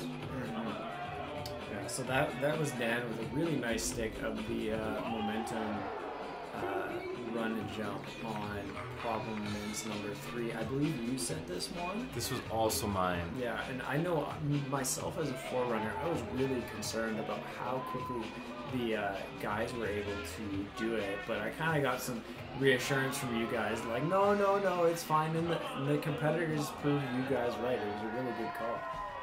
Yeah, you know what's funny about this problems? I think I said three problems, maybe three or four problems on this wall. Like they were all men's three. It's just Yeah. I said three other problems. And I remember one of them, like Ty stuck it, and we were like gonna sit with it. And then when Ty walked away, I stripped it because I was like, no, it's just not, it's just not that great. Yeah. I just uh, with I was never super happy with this one coming out of forerunning, but honestly, after the competition, I'm pretty happy with how it sat. Yeah. It was the easiest one of the round, um, but people somehow still got it in different amounts of attempts. Yeah, I, I think it worked out really well. I know there was there was a lot of tweaks um, after the run and jump for how to kind of utilize the space to still make it difficult. And Dan ended up being the only one to fall after Bone. No, Dan and Robin were the only ones to really fall after bonus. But I believe you know that it was really nice to see Dan pull it out, and you the problem was more than just a run and jump, Yeah. which was good to see. Oh yeah. Dan got a little blood on the holds. Dan got a got blood on every hold, I should say. Yeah. every single hold there, Dan got blood on it. That was uh, pretty fun. Yeah, there was there was certainly a bit of a hectic um, scrubbing from the route setters to make sure all that blood was gone. You can see Josh in a second here, I bet, bringing out the ladder to make sure they can get those finish holds, get the blood cleaned off of that. So the the rule with a blood and the way it's gone is if you're bleeding on the wall, the, the judge isn't able to call you off. So if Dan was bleeding that attempt, there's nothing the judge could do to call Dan off, you know, make sure he's cleaned it up. But if Dan didn't send that attempt and still had more time, Dan would have had to uh, been able to stop himself from bleeding before getting back on the wall. There is a caveat with it with that though. If the route setters aren't able to clean the blood off, and the route setters are actually the ones stopping Dan getting back on the wall, then they will give Dan um, an extra two minutes in order to be able to get another good solid attempt in that might have otherwise been stopped by the route setters. So it's kind of a confusing thing, but it also makes sense. Nobody really wants to climb on bloody holds. um, Yeah. Which is why you see Eric and Min waiting here for the root setters to finish cleaning the blood uh, from Dan. And I guess he was able to stop it for the uh, men's four, which is good. It's no fun to stop your uh, your competition just because your finger Yeah. can't take the texture. Off the couch skin. Off the Yeah. cast. Well, to his to his credit, those holds are really gritty, and to climb with fingers that are bleeding from at the start of that problem and to keep pulling all the way to the end, Yeah. that takes a lot of a lot of heart. Yeah. Quick quick shout out to uh, the route setters. You can see them all in that picture. Ty with the long hair and build. Eugene with the uh, uh, dimension volume sweater. Josh, you can see right there with the uh, red sweater and the hat. And Juan, who uh, emceed the comp. They all did a really good job, which was really exciting to see. A nice separation between the uh, competitors. Thanks, Mark. Yeah, that was a fun comp. That was a really fun comp to set. That's a good good group of guys to set it with too. Should we talk about scoring? Yeah, it's a little. It's the scoring system's new. It's a little confusing. Obviously, you're an Eveleigh, so you should take this one for sure. yeah, so I, I actually had a bunch of discussions with my dad, who's uh, been head judge a lot of comps in Alberta and trained a lot of the current head judges in Alberta about the scoring. And what they did is they decided to uh, switch it up a little bit for this year. So it used to be that tops mattered most, then att- fewest attempt to tops, then bonuses, then attempts to bonus. And what they did is they decided to switch the two middle categories there so that um, bonuses, now called zones, counted for more than uh, attempts to top. And what it did is it really changed. It put less emphasis on a flash and more emphasis on at least getting to the halfway mark of a problem throughout uh, the competition.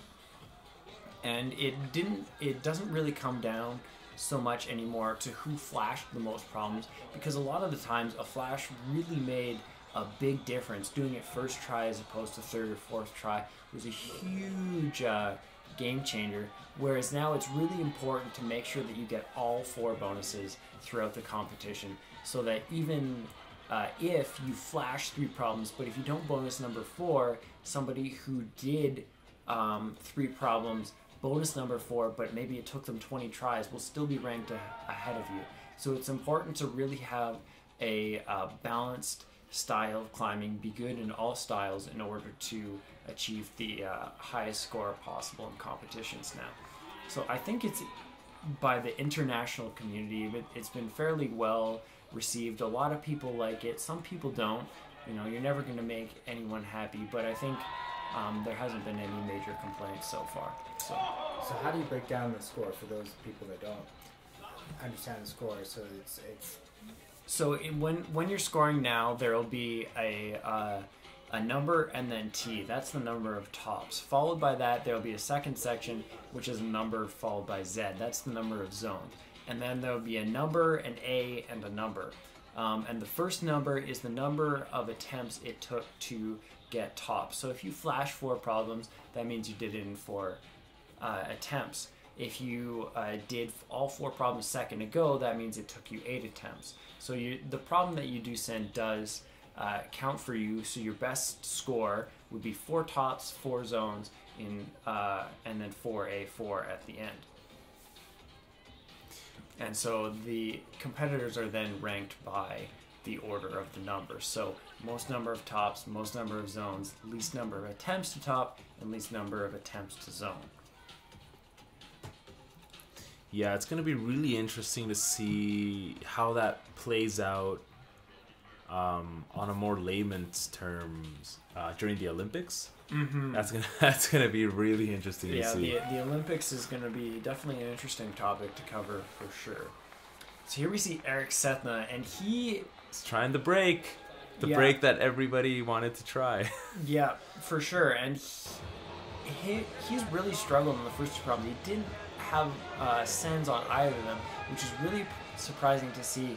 But I think with men's three being the easiest, he was really able to give him, you know, a confidence boost in the problem and uh, get him back on track to where he needed to be in this competition. Um, Yeah, and you can see uh, you can see his experience here. It's not the hardest run and jump move, I would say, but when he does stick it, you can just see how comfortable he is on the wall. He just slipped there a little bit. Um, I'm, I'm actually surprised he slipped there. Yeah, I, I found when forerunning, it was really easy to miss those last two feet, just be a little bit too far away from the wall when you're sticking those. And that's where you can see Eric did on his uh, attempts where he fell, but every time he stakes it, his right foot lands solidly on that green hold and secures him in there no problem. These pinches, by the way, it's hard to see that one he's on right now. These are some pretty thick pinches. They are thick. I, I know Yeah, for uh, tough to grab. Those are yours? Those are yours, Walson? Yeah. Dude, those are beauties. Those are so good. I love those holds. They're heavy though. They're heavy. Yeah. I would I would say for myself they're almost a little bit too wide for my hands because I definitely have short thumbs. I prefer a skinny pinch Yeah. for sure, but they are, they are definitely a nice hold. Yeah, So women's women's number three again. We weren't really expecting to see any tops out of the women until Eva and Alyssa Mhm. came around.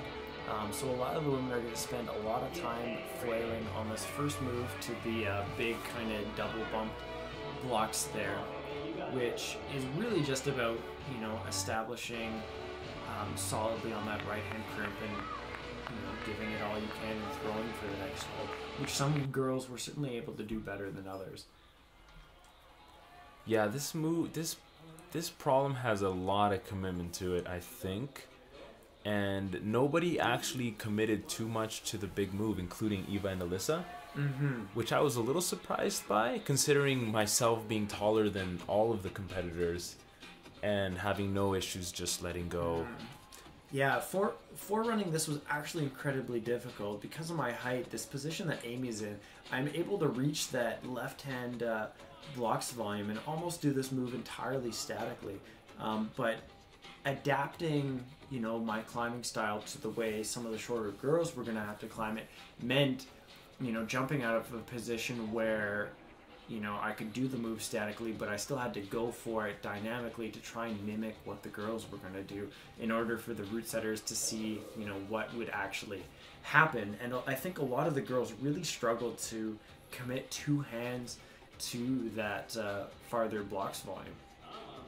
Yeah, so my intention here was actually to cut your as your heel cuts, you hit the blocks volume with your left hand, and that, now you're kind of in a double Gaston position for just a little bit, and then you let your momentum swing you so that you just drop your right hand into the blocks, and now you're matched on it. Um, I don't think anyone in the comp actually ended up doing it that way um, because even the list actually had their feet on when they did it, Mm-hmm. uh, their right their heel hook on, but um, uh, that's just that's just one of the things setting for a comp. You have an intention, and it's not always going to work. But as long as you kind of create a canvas for the climbers to to work through the problem in a some sort of different amount of attempts, then you're probably going to do an okay job. Yeah, exactly. So it's it's kind of interesting to watch, you know, all of the girls so far on this problem and how much gumption they're actually able to give it. It doesn't really change that much. A lot of the girls aren't able to uh, really, you know, find that next level gear on this problem. It looks like Amy just isn't really willing to let go of her right hand and get some sort of powerful generation out of her legs to uh, get over to that blocks one. And every attempt is almost exactly the same. There isn't really a lot of uh, changes. So as a coach, I would try to address that, being like, "Hey, if something not working, you need to try harder, or you need a different beta." And um, it's not an overly technical move, and so you know if you're going to try the same thing over and over and over and over, you're not going to learn anything from it, and you're certainly not going to do the problem. It seemed like uh, Min was doing the same thing as well. Yeah, Yeah. Min was definitely doing it. Um, even Lisa was doing it a fair bit. And, you know, I, I haven't been counting, but Amy's certainly given this six plus tries as the exact same beta. You know, even even beyond simply trying harder, you know, there is a certain point where it's like, okay, I'm not going to do this problem. I'm just going to rest for women's number four, you know, and Amy is certainly not uh, thinking about that. You can see her foot's popping. She's getting tired. She's getting sloppy. You know, maybe it's time to just say, this isn't going to happen. Yeah, I suppose there's also the pressure of having a crowd at your back Mm-hmm. and to just tell them, it's like, I'm done. people watching it. Yeah. no, I'm good. Well, for those people who watched the the La Sportiva Legends, you know, there was a crazy momentum dyna. Chris Sharma walked out, tried it once, and said, "I'm not going to do this," and walked away. Right? And but was that the latest one?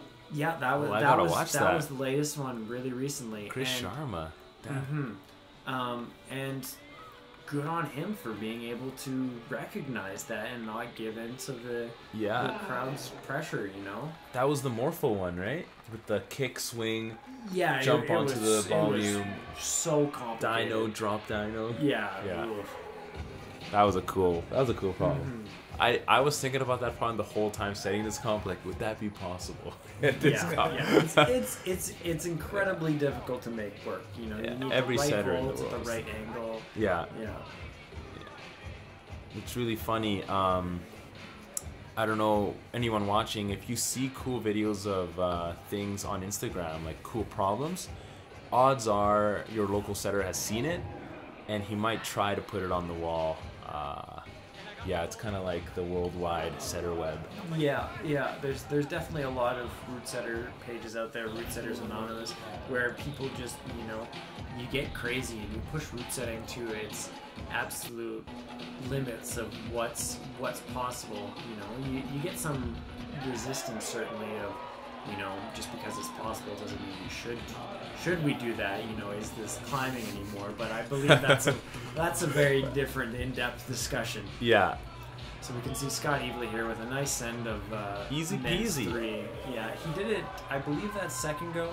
You know, made short work of the run and jump. Didn't Yeah. hesitate on the top at all. So uh, good, good climbing from him. A little bit of uh, goofy stuff with our our dad there. I'm not afraid to have a little bit of fun. So it's always important.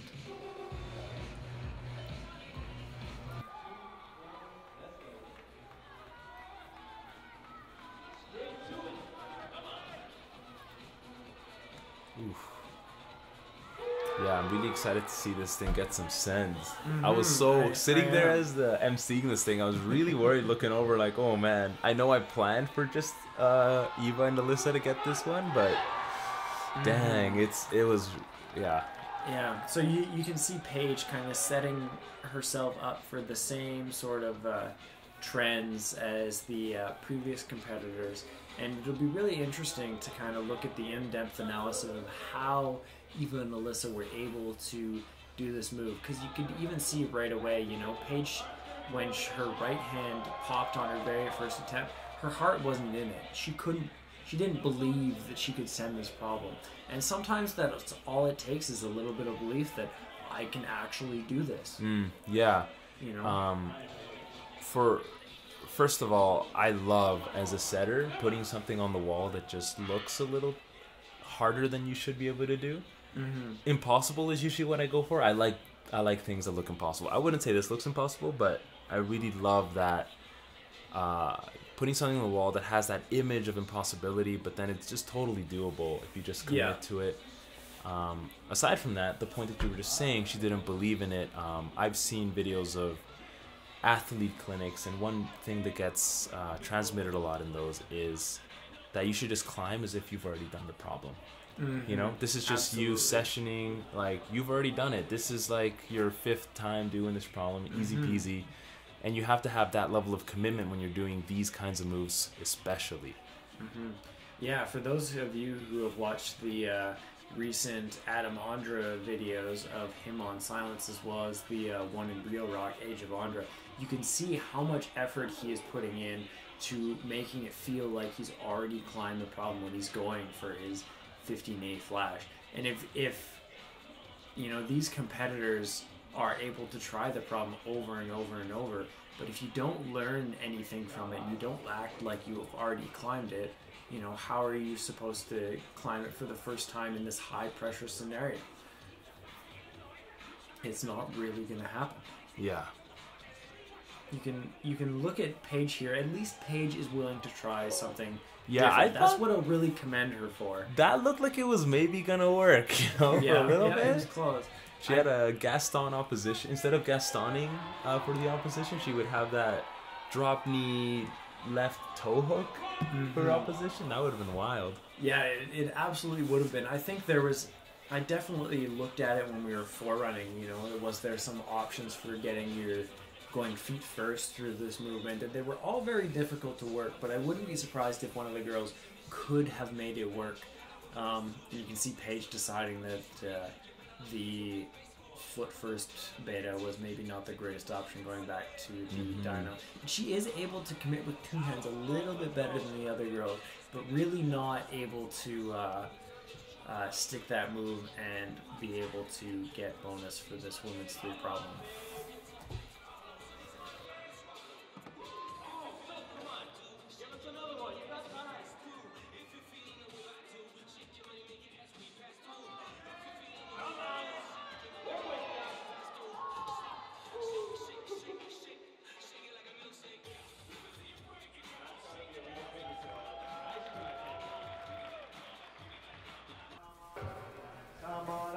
This was pretty funny to watch. This is fast.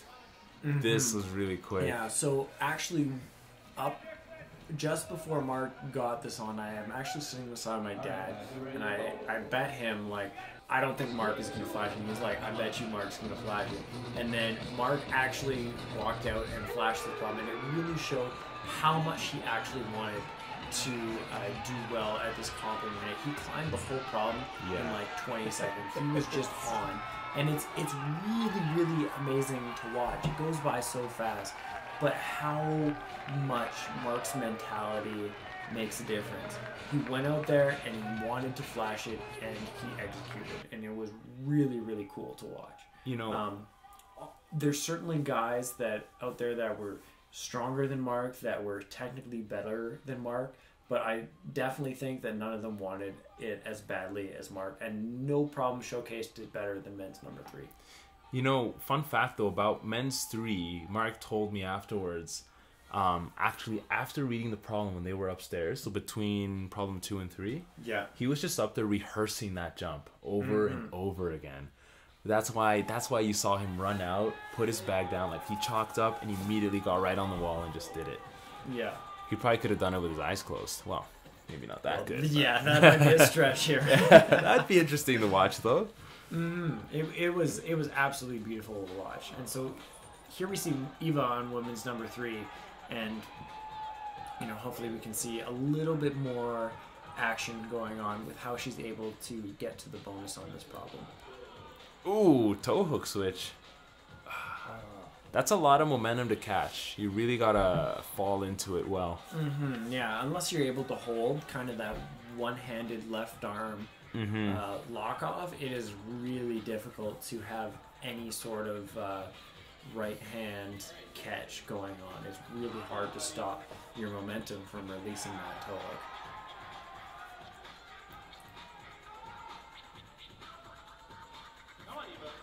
It's funny when I was emceeing this and I would hear people cheering in the back and be like, "Man, people can yell really loud. I have a mic," and I think they're pretty loud. Ooh, yeah, there see, is. As, as soon as Eva was able to really commit to the dyno, she stuck Yeah. it. Oh yeah. and that that was the difference between her and the other girls. And here's your judging expertise. There, the the zone is on the crimp, not on the So blocks. this is this is actually something that got discussed during forerunning. So the hard move is actually getting to that big first uh, blocks volume, and that would make a lot of sense as a bonus hold. But from a judging perspective, it's extremely hard to judge because a lot of the girls will get very close to sticking it without actually being able to move off of it. And so it's hard to say what the line is between, you know, just flailing on it and actually sticking the hold. And so making zone the next hold makes a lot of sense from a judging perspective because it, the next move is very easy and very controlled. So it's very obvious whether the girls got bonus or not. Now, from a forerunning perspective, this was actually uh, a very tricky call in my opinion because her left hand crimp is blocked and it's a very committing move and my fingers didn't fit and so I was going down to two, three fingers at the most, trying to go for this dynamic last move. But I think last minute we uh, brought in uh, Cassie, another girl who has very, very slim fingers, and she's like, "Oh yeah, it's fine. You know, all the girls' fingers will be able to fit." Yeah. So it's it's kind of an interesting call to compare the two. Can we actually rewind real quick to Sure. women's three for a sec? I want to show something at the end of the first footage. Yeah, there. Pause, pause right here. Do you see there, Josh on the right side there? He's freaking out. and that that's exactly like I said. I was freaking out too, but I was emceeing. I was like, Yeah. nobody's topped this thing. Oh my gosh. Yeah. It, it's Yeah. amazing to spot that. It's Yeah, oh, like he's right freaking out. it, is, it is absolutely shocking how much more stressful a competition can be for the route setters because you know it's it's this whole accumulation of two or three days of route setting and Yeah. all this anticipation you know coming down to like two hours and even one problem you know if the only intention is eva and alyssa to top you have eight minutes of like oh shoot. Yeah, yeah. what am i doing now Yeah, and like uh, even like reading that route setting book that Jacky Godoffe put out. yeah my Reading- to route setting Yeah, reading that book and hearing about his failures, going into a comp for me, I'm like, well, Jacky, Jacky messed it up, so yeah there's a pretty good chance. there's a pretty good chance this one's gonna be messed up. Mm-hmm. yeah you you have like this world class french route setter and it's like you know he's he's able to put out a book out a book saying i screwed up and it happens. And then Yeah. being, being you know not nearly as experienced as you know a world cup route setter who's Exactly. been route setting for at least 20 plus years and being like oh dear what am i doing Yeah, now? Yeah, it's it's extremely difficult and extremely stressful Wow, Ty- Tyson just uh, ran in there, in and out. Yeah, Tyson. Tyson uh, was actually practicing all of those run and jumps with Mark Dirksen. You can really see how much it paid off. Interesting. Interesting to note the two athletes were in ISO, practicing together. Mhm. I love Yeah. that. I love that about climbing. Yeah, it's, it's really amazing to see the cooperation. You know, you most spectators don't get to see what goes on in ISO, but there'll be like full on discussions of like five or so competitors, you know, talking about every single beta. And you know, with my athletes as a coach, I talk about plans and backup plans and like ridiculous backup plans that you think could never go. And when you talk with other athletes, you get all those. You know, you have your first try, you have your second try, you have your third try, you have the try you never think will go, but you know, one in a million chance it does, Yeah. which is really really cool to see. And so we just saw Alyssa stick the bonus hold right there for women's number two or women's number three, which is. Uh, I must. It must have been really relieving to see for the Yeah, definitely. Well, as soon as Eva got it, I was like, okay, there we go. See if we can Yeah. catch Josh again. yeah, maybe that's just his stance. Oh no! I, I bet, Covering I bet you he was suspense. nervous. I bet you he was really nervous. Oh, we get him. Oh, he's so so close. He's so close. Not quite in the frame. Not quite. I'll blame the cameraman. Of course.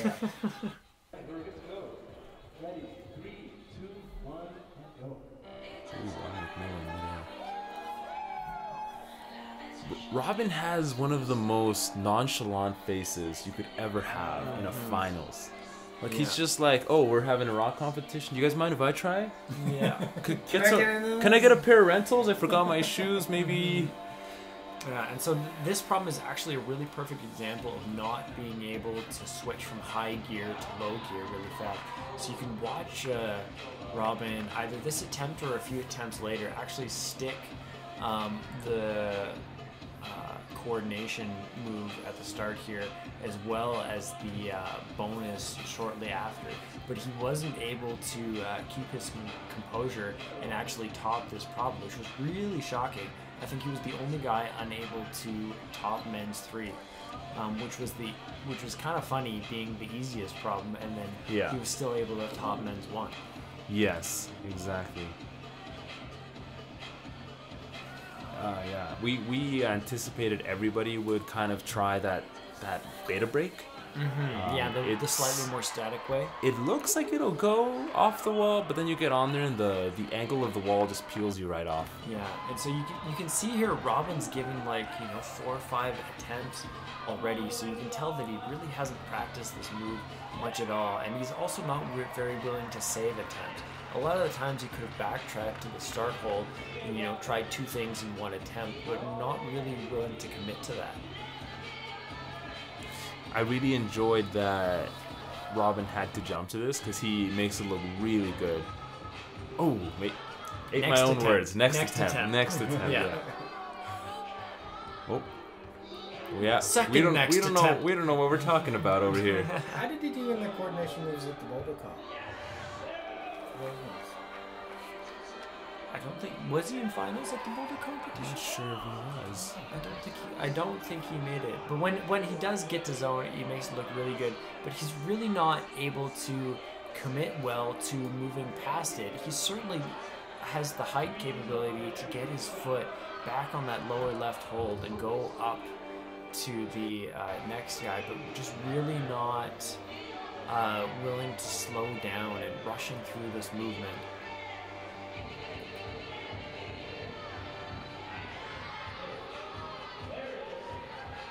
I gotta say, when I was uh, putting this one up, I think I did that move 30 times. And I kept moving the target hold further and further. Yeah. and by, by the end, I was so close to just stripping it again in my head because I was like, it's too easy now. Now it's way too, but that, that's because I did it 30 times. But yeah. You're right. He wasn't that uh, in finals. Ooh, strong. That's that's not a good hold. No, and so you can see he gets his foot here, and he's just rushing through the movement too fast. Um, I think if Robin was really able to slow down his movement, um, he would have been able to top this problem. Because you go from a very, very dynamic move to watching the other competitors, it becomes a very static move movement all of a sudden. And Robin is still like, you know, let's move fast, let's go hard. And he's not taking much time to rest too. And you can see by his final attempt, he's just exhausted. Yeah. And it, it really impacts his score at the end of this competition. So problems number four for the women. I would I would almost argue from my perspective as a guy and you know a lot of that classic guy strength that women's number four was the easiest problem for the women. But a lot of women really struggled with the first move. It's a little bit bigger, a little bit more powerful, Yeah. and a little bit extra uh, coordination required. So Yeah. it, it made it made for you know a lot of uh, strengths that became more difficult. Now it was really cool to see uh, Lisa actually go with this heel hook beta, and she got extremely close on that attempt, um, which was I believe not intentional at all. I don't know the route setting process behind it. Yeah, for this one, it was um, you actually want to go straight to the next one and come in with the left hand. Mm-hmm. And it should be noted from this angle, that hole that they're going to, um, sorry, not this one, the higher one there, looks like a jug. I promise it's not. It's it's almost a sloper. it's not very good.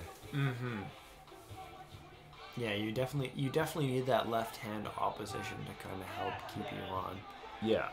So, and I, I think a lot of changes were made to this problem last minute to try and make, you know, the top a little bit harder, a little bit more tricky for the women. But I think all the women were kind of able to overcome it without too much difficulty once they got bonus. But a lot of them took a lot of attempts on this first move, which was, I'm not sure if it should be surprising and a bit of a shocker or, you know, that's, that is just the way people's strengths play out. I really enjoyed this one in that I just thought that the movement in it was exciting for the crowd, which I know isn't our number one priority as setters, but I was stoked uh, the way that this one turned out. For sure.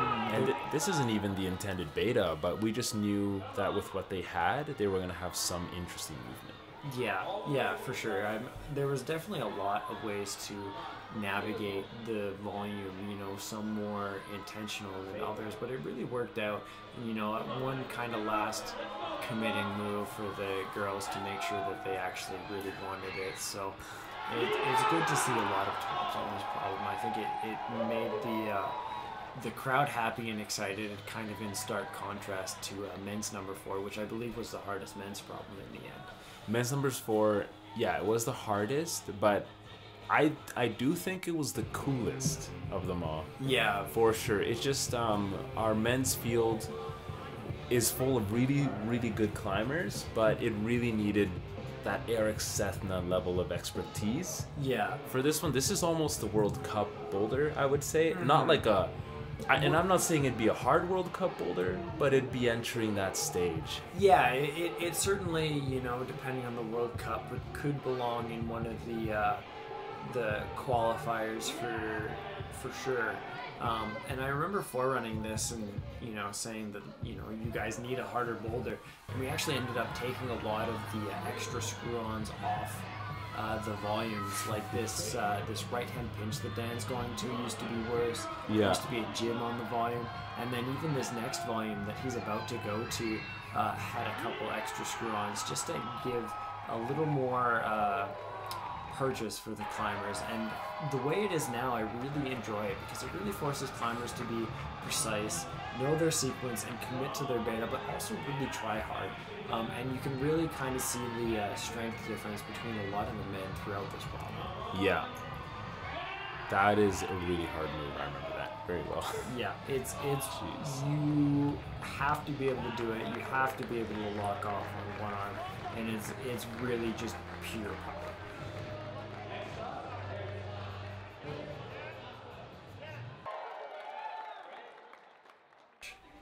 But for now, we have uh, on Problem Women's 4. Um, and it, it's kind of interesting to see, you know, how uh, all of the uh, girls stack up on how they were able to do this first move because that really became the crux of the problem for all of them is how much power do some of these girls have and how much are they willing to uh, commit and really want to send this problem.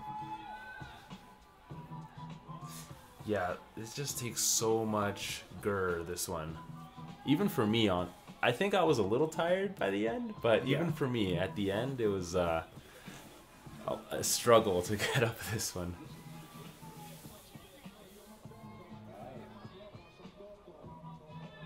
It's hard to keep track. It is. It definitely is. Well, it's it's really for you especially. You, you came off setting three days Yeah, from that correct, and then last minute MC yeah. came in, rocked the house, hmm and pulled it all off. I was I was really impressed. With. I was really down. I gotta tell you, by four, by men's, uh, by problem four, I was like gone. I was, I was pretty, I was ready to sleep.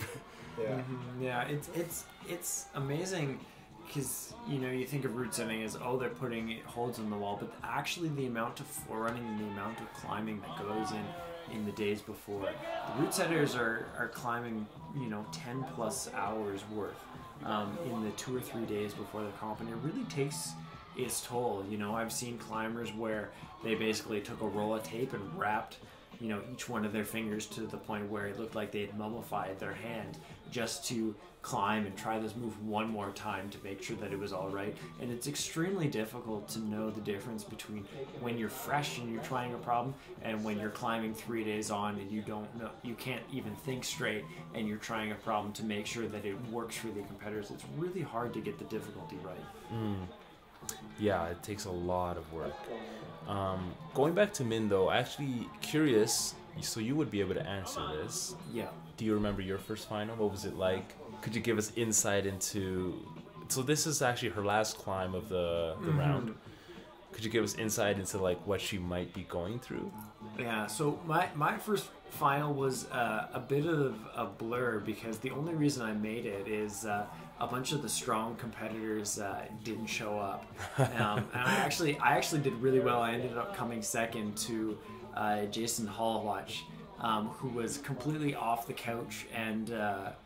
Um, hadn't competed for a number of years or even climbed for a number of So years. everything was stacked in your favor that yeah, day. Yeah, so everything was stacked in my favor that day. But I definitely remember, you know, I still remember what I did wrong and what I needed to uh, improve on throughout the competition. But it, it's it's almost you know it's nerve wracking, but it's it's exciting in a certain sense because it's your first finals, and no matter where you place, you almost have nothing to lose, which is is really uh, liberating and it helps relieve a lot of the pressure.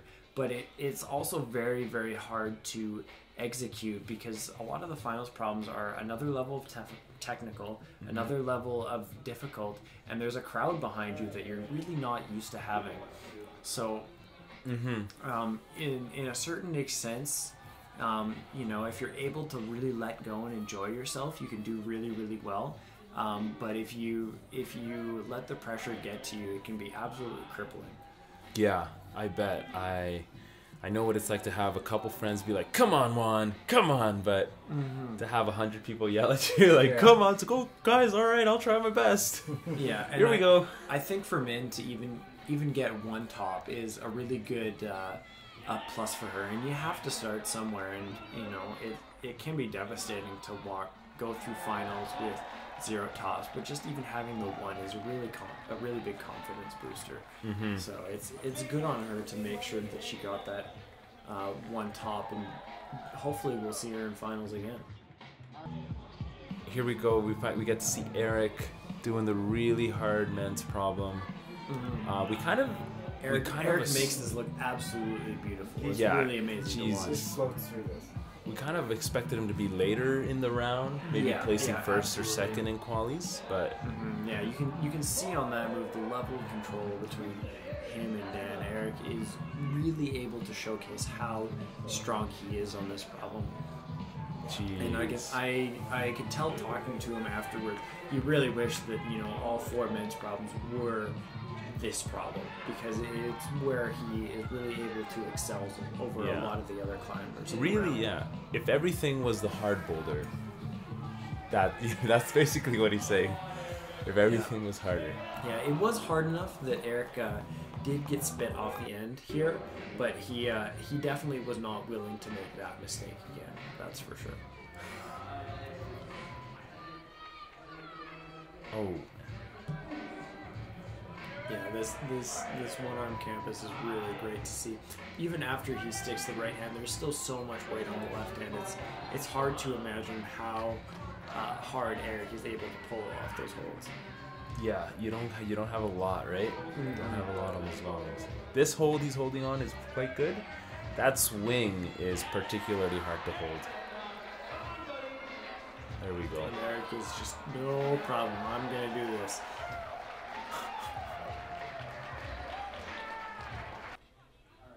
But I, I actually, from a spectator and a route setter point of view, I really enjoy watching competitors' uh, facial expressions after they've done the force problem and when they decide, okay, my competition's over, because their face says everything about how well they felt they did for the whole round. You can see Eric's right there, like, you know, okay, he's happy he finally got some tops in, but he really wished he had done a little bit better. You know, he felt number one was doable, number two was doable. I believe afterwards, I. Uh, I went and talked with him, and he still had his shoes on. He was trying men's one and men's two, and he uh, he did men's two right after the competition with, you know, not too much effort. As soon as the pressure was gone, he was ready for it. So it was uh, it's amazing how much uh, of a difference being in a comp scenario can make. He, he's been out with an injury too, hasn't he? Is that- Feels like he's been perpetually injured for a long time now. So in uh, in February in Bishop, he actually shattered his uh, heel. You know, he it took him two surgeries. He was on crutches for a while. So it's it's really great to see him uh, climbing again and climbing strong and able to recover from that injury. I know even after it was uh, pretty much healed, he was having a lot of confident issues. Just being willing to uh, take a fall on it um, for fear of you know it being injured or uh, hurting or whatever the case may be. So Going back to Amy here, what did you think about so the first move here, watching her get so close on it over and over? Mm-hmm. I kind of regretted not putting it just an inch or two lower for her. I, I think from my perspective, forerunning this problem, um, as well as being a route setter for previous competition, sometimes you have to take a risk. You know, you're never going to be able to make everything perfect, and I think in in this case the risk was absolutely justified, and I think. Um, if you look, if you pay very, very close attention to how bent Amy's left arm is, because she's always able to touch the right hold and she's always able to touch the left hold, but she's never able to stick it. If you look at how bent her left arm is, she certainly had more to give, and that was a matter of how much Amy is able to generate off that move, um, as opposed to it being too far for her to physically reach.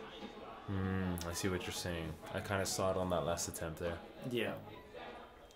And so, so sometimes, you know, it, it looks like a climber may be really struggling because of, you know, some of their physical capabilities or uh, their height in this case. But really, you know, it, it's a matter of um, just simply how strong they are. And it looked like Amy was not strong enough, period. On that last attempt, you could see that she she didn't even hit the left hand in a in a decent spot. You know, she had no hope regardless of whether she was capable of reaching it or not. Yeah, it would have been nice to see her get it though. Yeah. still a bummer. Bummed me out. Mm-hmm. The whole time I But- was emceeing, I was like, "Come on, Yeah, at, come on, at the same time, you know, you look at the World Cup level. How many Japanese girls are her height and they're winning the You're- World Cup? Right? I think of that You know, all the time. Like all you, the time. you bring one of them in here. yeah. You know, you, she might be two inches taller than Amy, if that, and she would just crush this competition, right? And so, you know, you can't, you even as a route setter, you know, you can't accommodate everyone. Sometimes they just have to be stronger, and that's the name of the game, right? That's true. You know, if if you wanted some uh, certain climbers to win, you could set four slab problems, and it would change the the results entirely. But that that's not what climbing is about. It's about balance and being good at everything. And so you try and set that. Yeah. It's, it's very very difficult sometimes. So I think I think this this men's four problem, you know, in, in forerunning and talking to the route setters, knew that everyone knew that Eric was going to be capable of doing this, but it, it was really up to the other competitors if they really really wanted it, whether they were able to. Uh, to send this problem. You know, they needed to find that extra gear, um, that emotional gear of I want this and I'm going to try hard. And a lot of guys were really close. Scott was fairly close. Mark Dirksen was fairly close. Um, I actually talked with Mark Dirksen a few days later.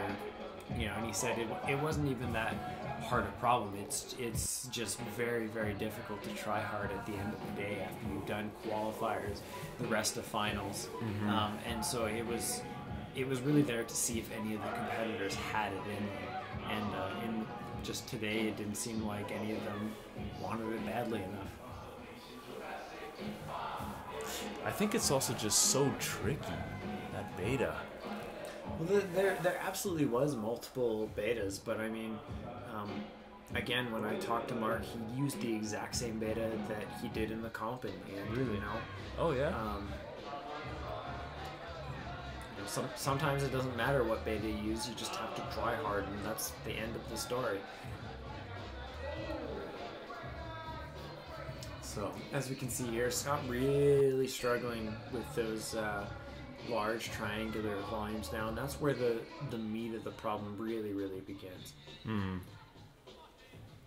You're very right. You can really see the fatigue on the athletes' faces uh,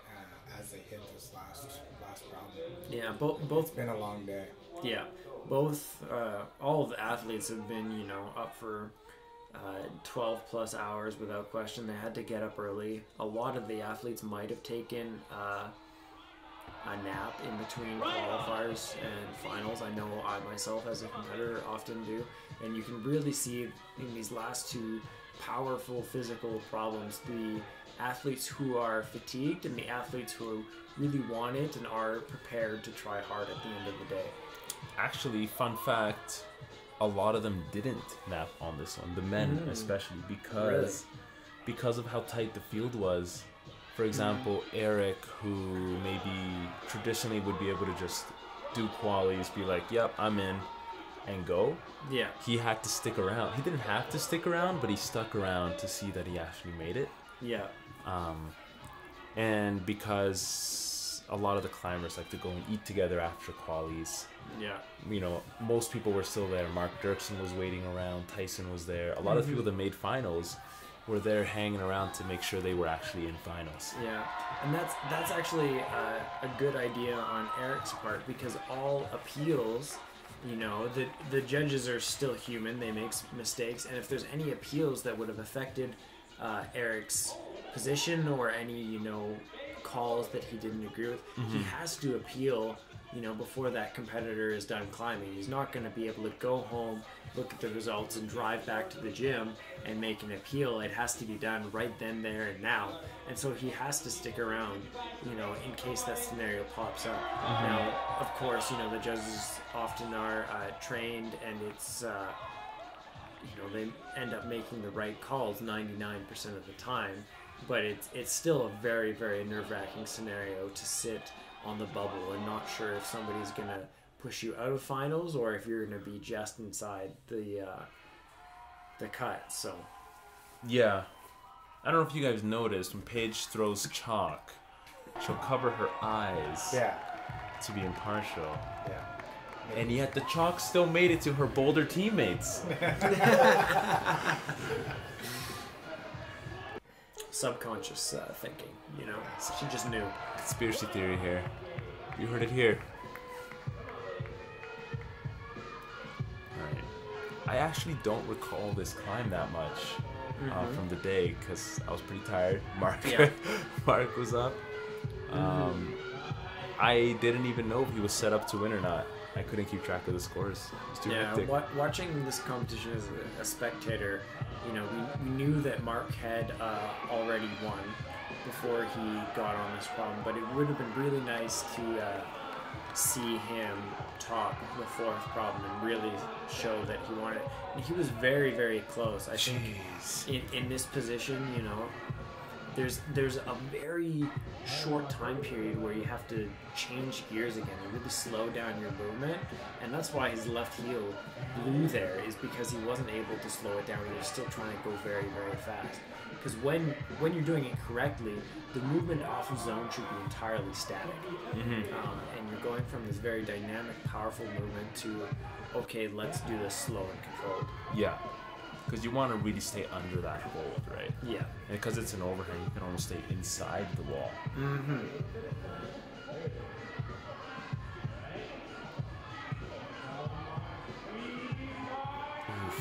It's amazing how he can just hold. Yeah, Mark has some serious. Mark's one of the.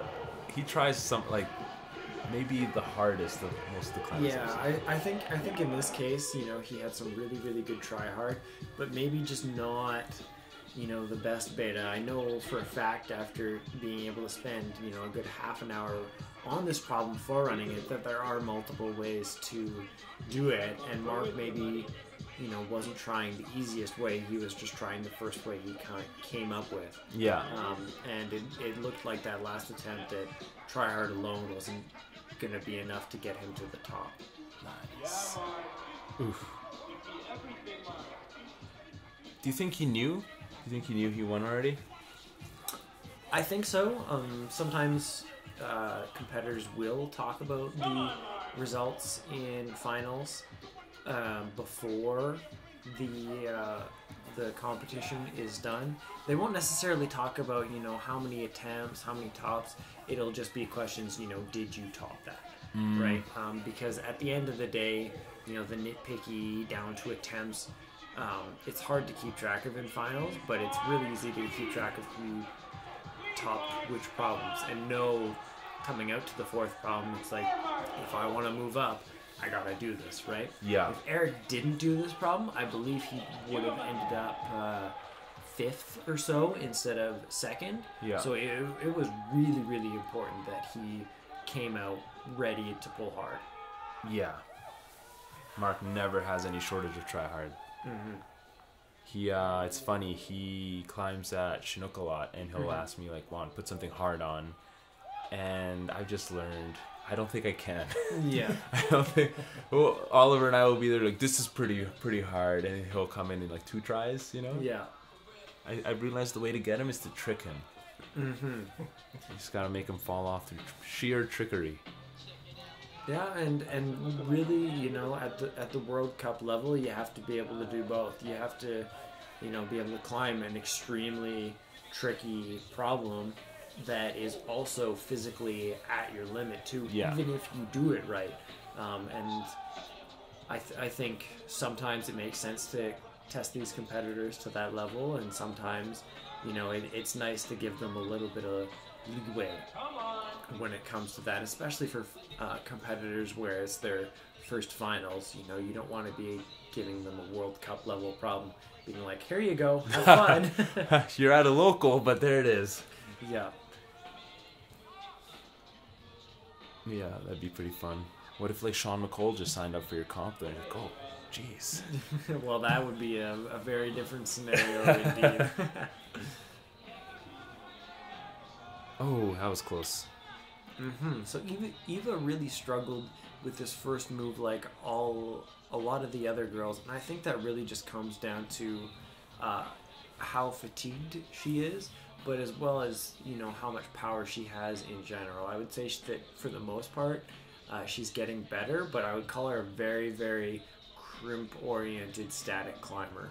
Um, that's what she's really really able to excel at, and so to a certain extent, this problem is fairly easy, but it is also a little bit of her, uh, her weaknesses are being highlighted here. So, Mm-hmm.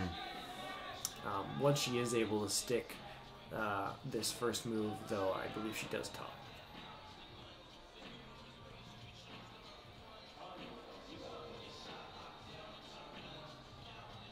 Yeah, I really like that top section. hmm This was, I believe, Josh set this boulder. Am I correct? Yeah. Yeah, so Josh's he, baby. he actually spent a long time tweaking the top of this boulder um, in the uh, short time period between qualifiers and finals to make sure that it was really um, interesting for the crowd, fun for the competitors, even um, in the end at the uh, expense of being, you know, a hard boulder problem for the women. I think a lot of the women enjoyed being able to come away with a uh, top at the end of the round. Yeah, I would agree with that. It's actually funny. Uh, I think he was tweaking it after we all thought it was done, Mm-hmm. and then Ty looks over. And he's like, "What are you doing?" yeah, that was pretty funny. But I like the tweaks. I think uh, it was really it was well worth the extra effort. Yeah, I, I definitely agree. The, f- the first iteration of the problem uh, that I got to climb was good, but it wasn't, you know, perfect. And I think Josh was really willing to put in the effort to make it perfect. So it was nice to see the uh, the result of it um, at the end of the day. So Tyson, can I can I see Tyson's score here? Yeah. Oh, actually, oh, that's the boulder comp. I see. So Tyson came third. He he just ended up, you know, with a good bit of try hard, and I think his his top of men's two really uh, helped him out in that regard. Yeah, he did. Uh, he did pretty good, especially like like I said, considering he was just spending a lot of time climbing outside on the rope. Yeah, he's not he's not afraid to put in the effort, put in the try hard, which is really uh, really nice to see. So your your editing slipping. Yeah. I don't know what you, happened. you were getting tired. Yeah, could be. That's funny. I, th- I think you can you can really see here that Tyson is just getting tired. You know, um, maybe if he had rested a bit more on some attempts previously or things like that, that he maybe would have been able to uh, have the extra energy to uh, give this problem a real solid go. But it, it just didn't look like he was able to get very far. Yeah.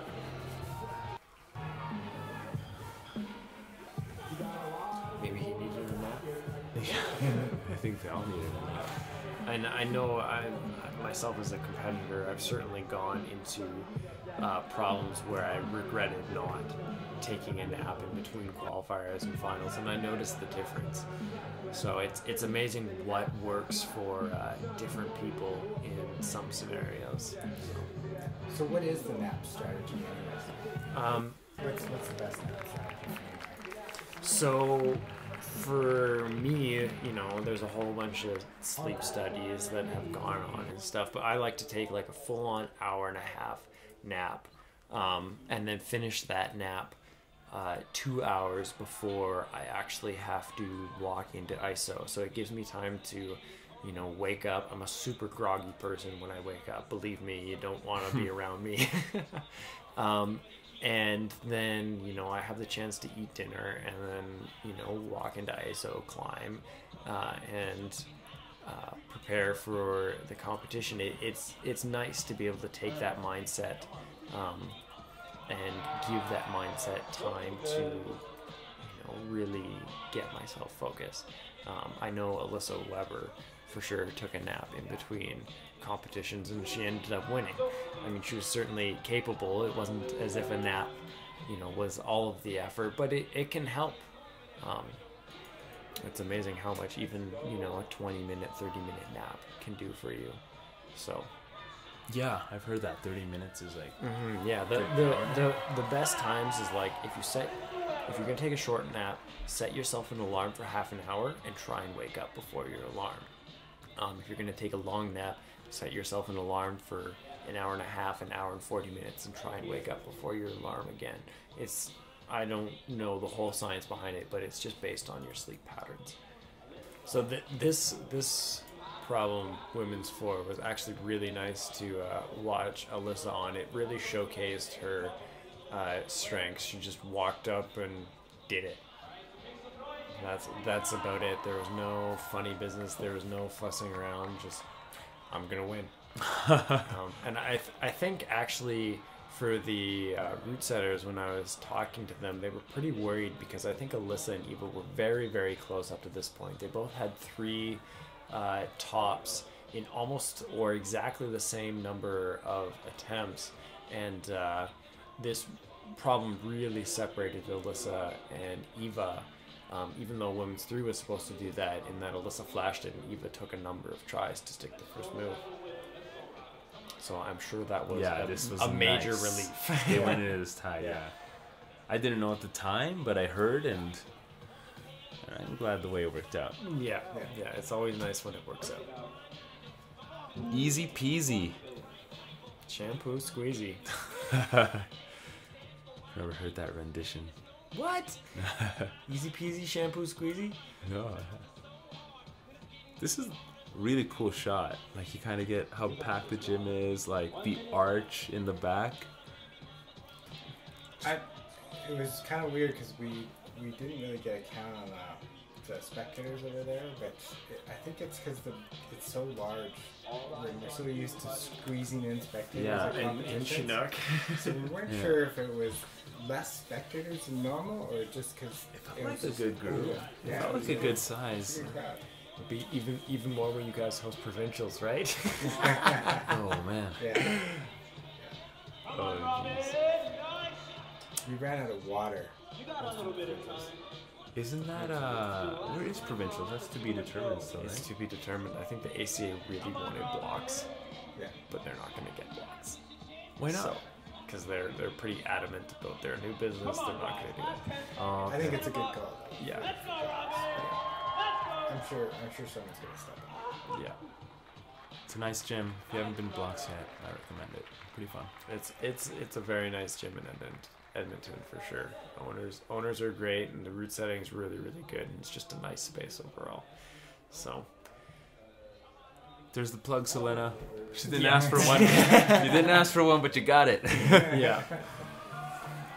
Yeah. So this this on Robin on number four, you know, he's certainly strong enough to do this boulder problem, but you can really see his right foot there popping. He's just rushing it. He's tired. He just he doesn't want it, and he he hasn't set himself up for success over the round. You know, he did number one, and that's after that he was done. So one as the comp in general. Yeah. How do you how'd you feel? How how I thought it went really well, actually. Um, we talked a lot about the behind the scenes and the kind of concerns we had going into it. But take all that away and just like success or failure wise for the comp, I'd say great success. If you look at the women's round, I think it was 4 4 3 2 1. 4 4 3 2 1 0, right, for tops, which is like a pretty amazing separation. And for the men's, uh, we separated them exactly how we wanted them to be, which is like a really robotic way of me to say uh, the comp went well. yeah Yeah, yeah. Well, I mean, the the men, you know, every problem got topped, but nobody topped every problem. You know, it's almost like an ideal scenario. Yeah, that was interesting. Everyone was able to excel in their own way, and it was it really came down to who could excel in the most, uh, in the largest variety. That's actually one of the things I like the most is that I couldn't keep track because I was on the mats the whole time. Um, cause and it was hard to keep track because somebody would send like problem one and then not send problem two and then vice versa, and it was just. I, to me, I thought they were all tied or something. I had no clue going into the fourth problem. It'd be nice to get a, a, a real time score. Nice. Yeah, no, I gotta say, someone brought it up to my attention uh, after the comp, but that, this this comp, uh, I've realized that we've done about hundred comps in the past two decades, and, uh, and I gotta say, this is Really? Most memorable for sure. Yeah, I think it went well. We had a good team. Good. Thanks. Thanks. Walson's telling us it went good. I think that's pretty good. that's a lot of comps. Yeah, Jeez. yeah. Yeah, well, I know myself when I started about a decade ago, there was the old uh, C3 competitions. You know, let's let's host a three-hour scramble on a Friday night. Have a have a, a mini slackline competition with some uh, some gorgeous face plants from those who had never slacklined before, while results were tallying, and then a little prizes. Yeah. And then before I was around, there was the ferocious comps, Walson. ferocious comps. Yep. And uh, we'd we'd even do um, after work Friday comps. So it, the, the intent was just to walk in with a suit and tie. Those guys from downtown working suit and tie, and Johnny Hag and those Dave Duran would come in and compete. Oh my god, climbing's con it's a different world now, hey? It, it is. It's nice to see. Maybe this is a question for you, actually, being an Eveleigh. In you, you got the in, or at least your ear to the ground for the ACA a bit. Mm-hmm. Do you think they'll ever start enforcing semis? I, I think as as the sport grows, um, it, we'll have to. We'll start seeing the number of competitors. Um, this competition ran two rounds for the men, um, and you know, with that number of competitors, there is room to be a semis. Um, you, the IFSC World Cup standard for semis is 20 competitors, and if we held semis for this comp for the men, it would have cut down, you know, 50 plus competitors, which is still an extremely large volume. Um, will they ever enforce it? That's that's a discussion that has to come with the gyms because all of a sudden you're forced to add an extra day to the competition, an extra day of setting, an extra day of shutdown. It really adds up. Um, but for uh, larger competitions, provincials and nationals, you know, nationals, it's already a thing. Um, for provincials, I could definitely see it start to happen in the next uh, few years. You know, if you look at the the way the IFSC going is um, going, the way the U.S. is going, the way Europe's going. You know, climbing is getting more popular, and more people are going to register. Um, for the youth competitions alone this year, they've had almost every competition fill up for almost every age category. They've had to actually add competitions last minute during the year Yeah. because competitors weren't able to register for competition to get their points to qualify for um, additional events because they were just full. Yeah. So it's it's going to head that way sooner or later, and it's coming fast. That'll be definitely fun to set. Think about it, right? Have qualies and semis to separate your climbers, and then you have finals to like put on this crazy show. Still separate them, but like big showy it- boulders, you know. yeah, se- having semis is a lot less uh, stressful on the route setters. That is for sure. No Yeah. kidding. Yeah, you get that count back. Mm-hmm. Well, I mean, count back's kind of lame, but still, it's there. It's you. You have a, a much better security blanket. Yeah. Well, guys, thank you very much. Marc? you're welcome. One, Yeah, thanks for having us. it's great. Uh, it's great breaking down the comp, and uh, yeah, thank you. Thanks again.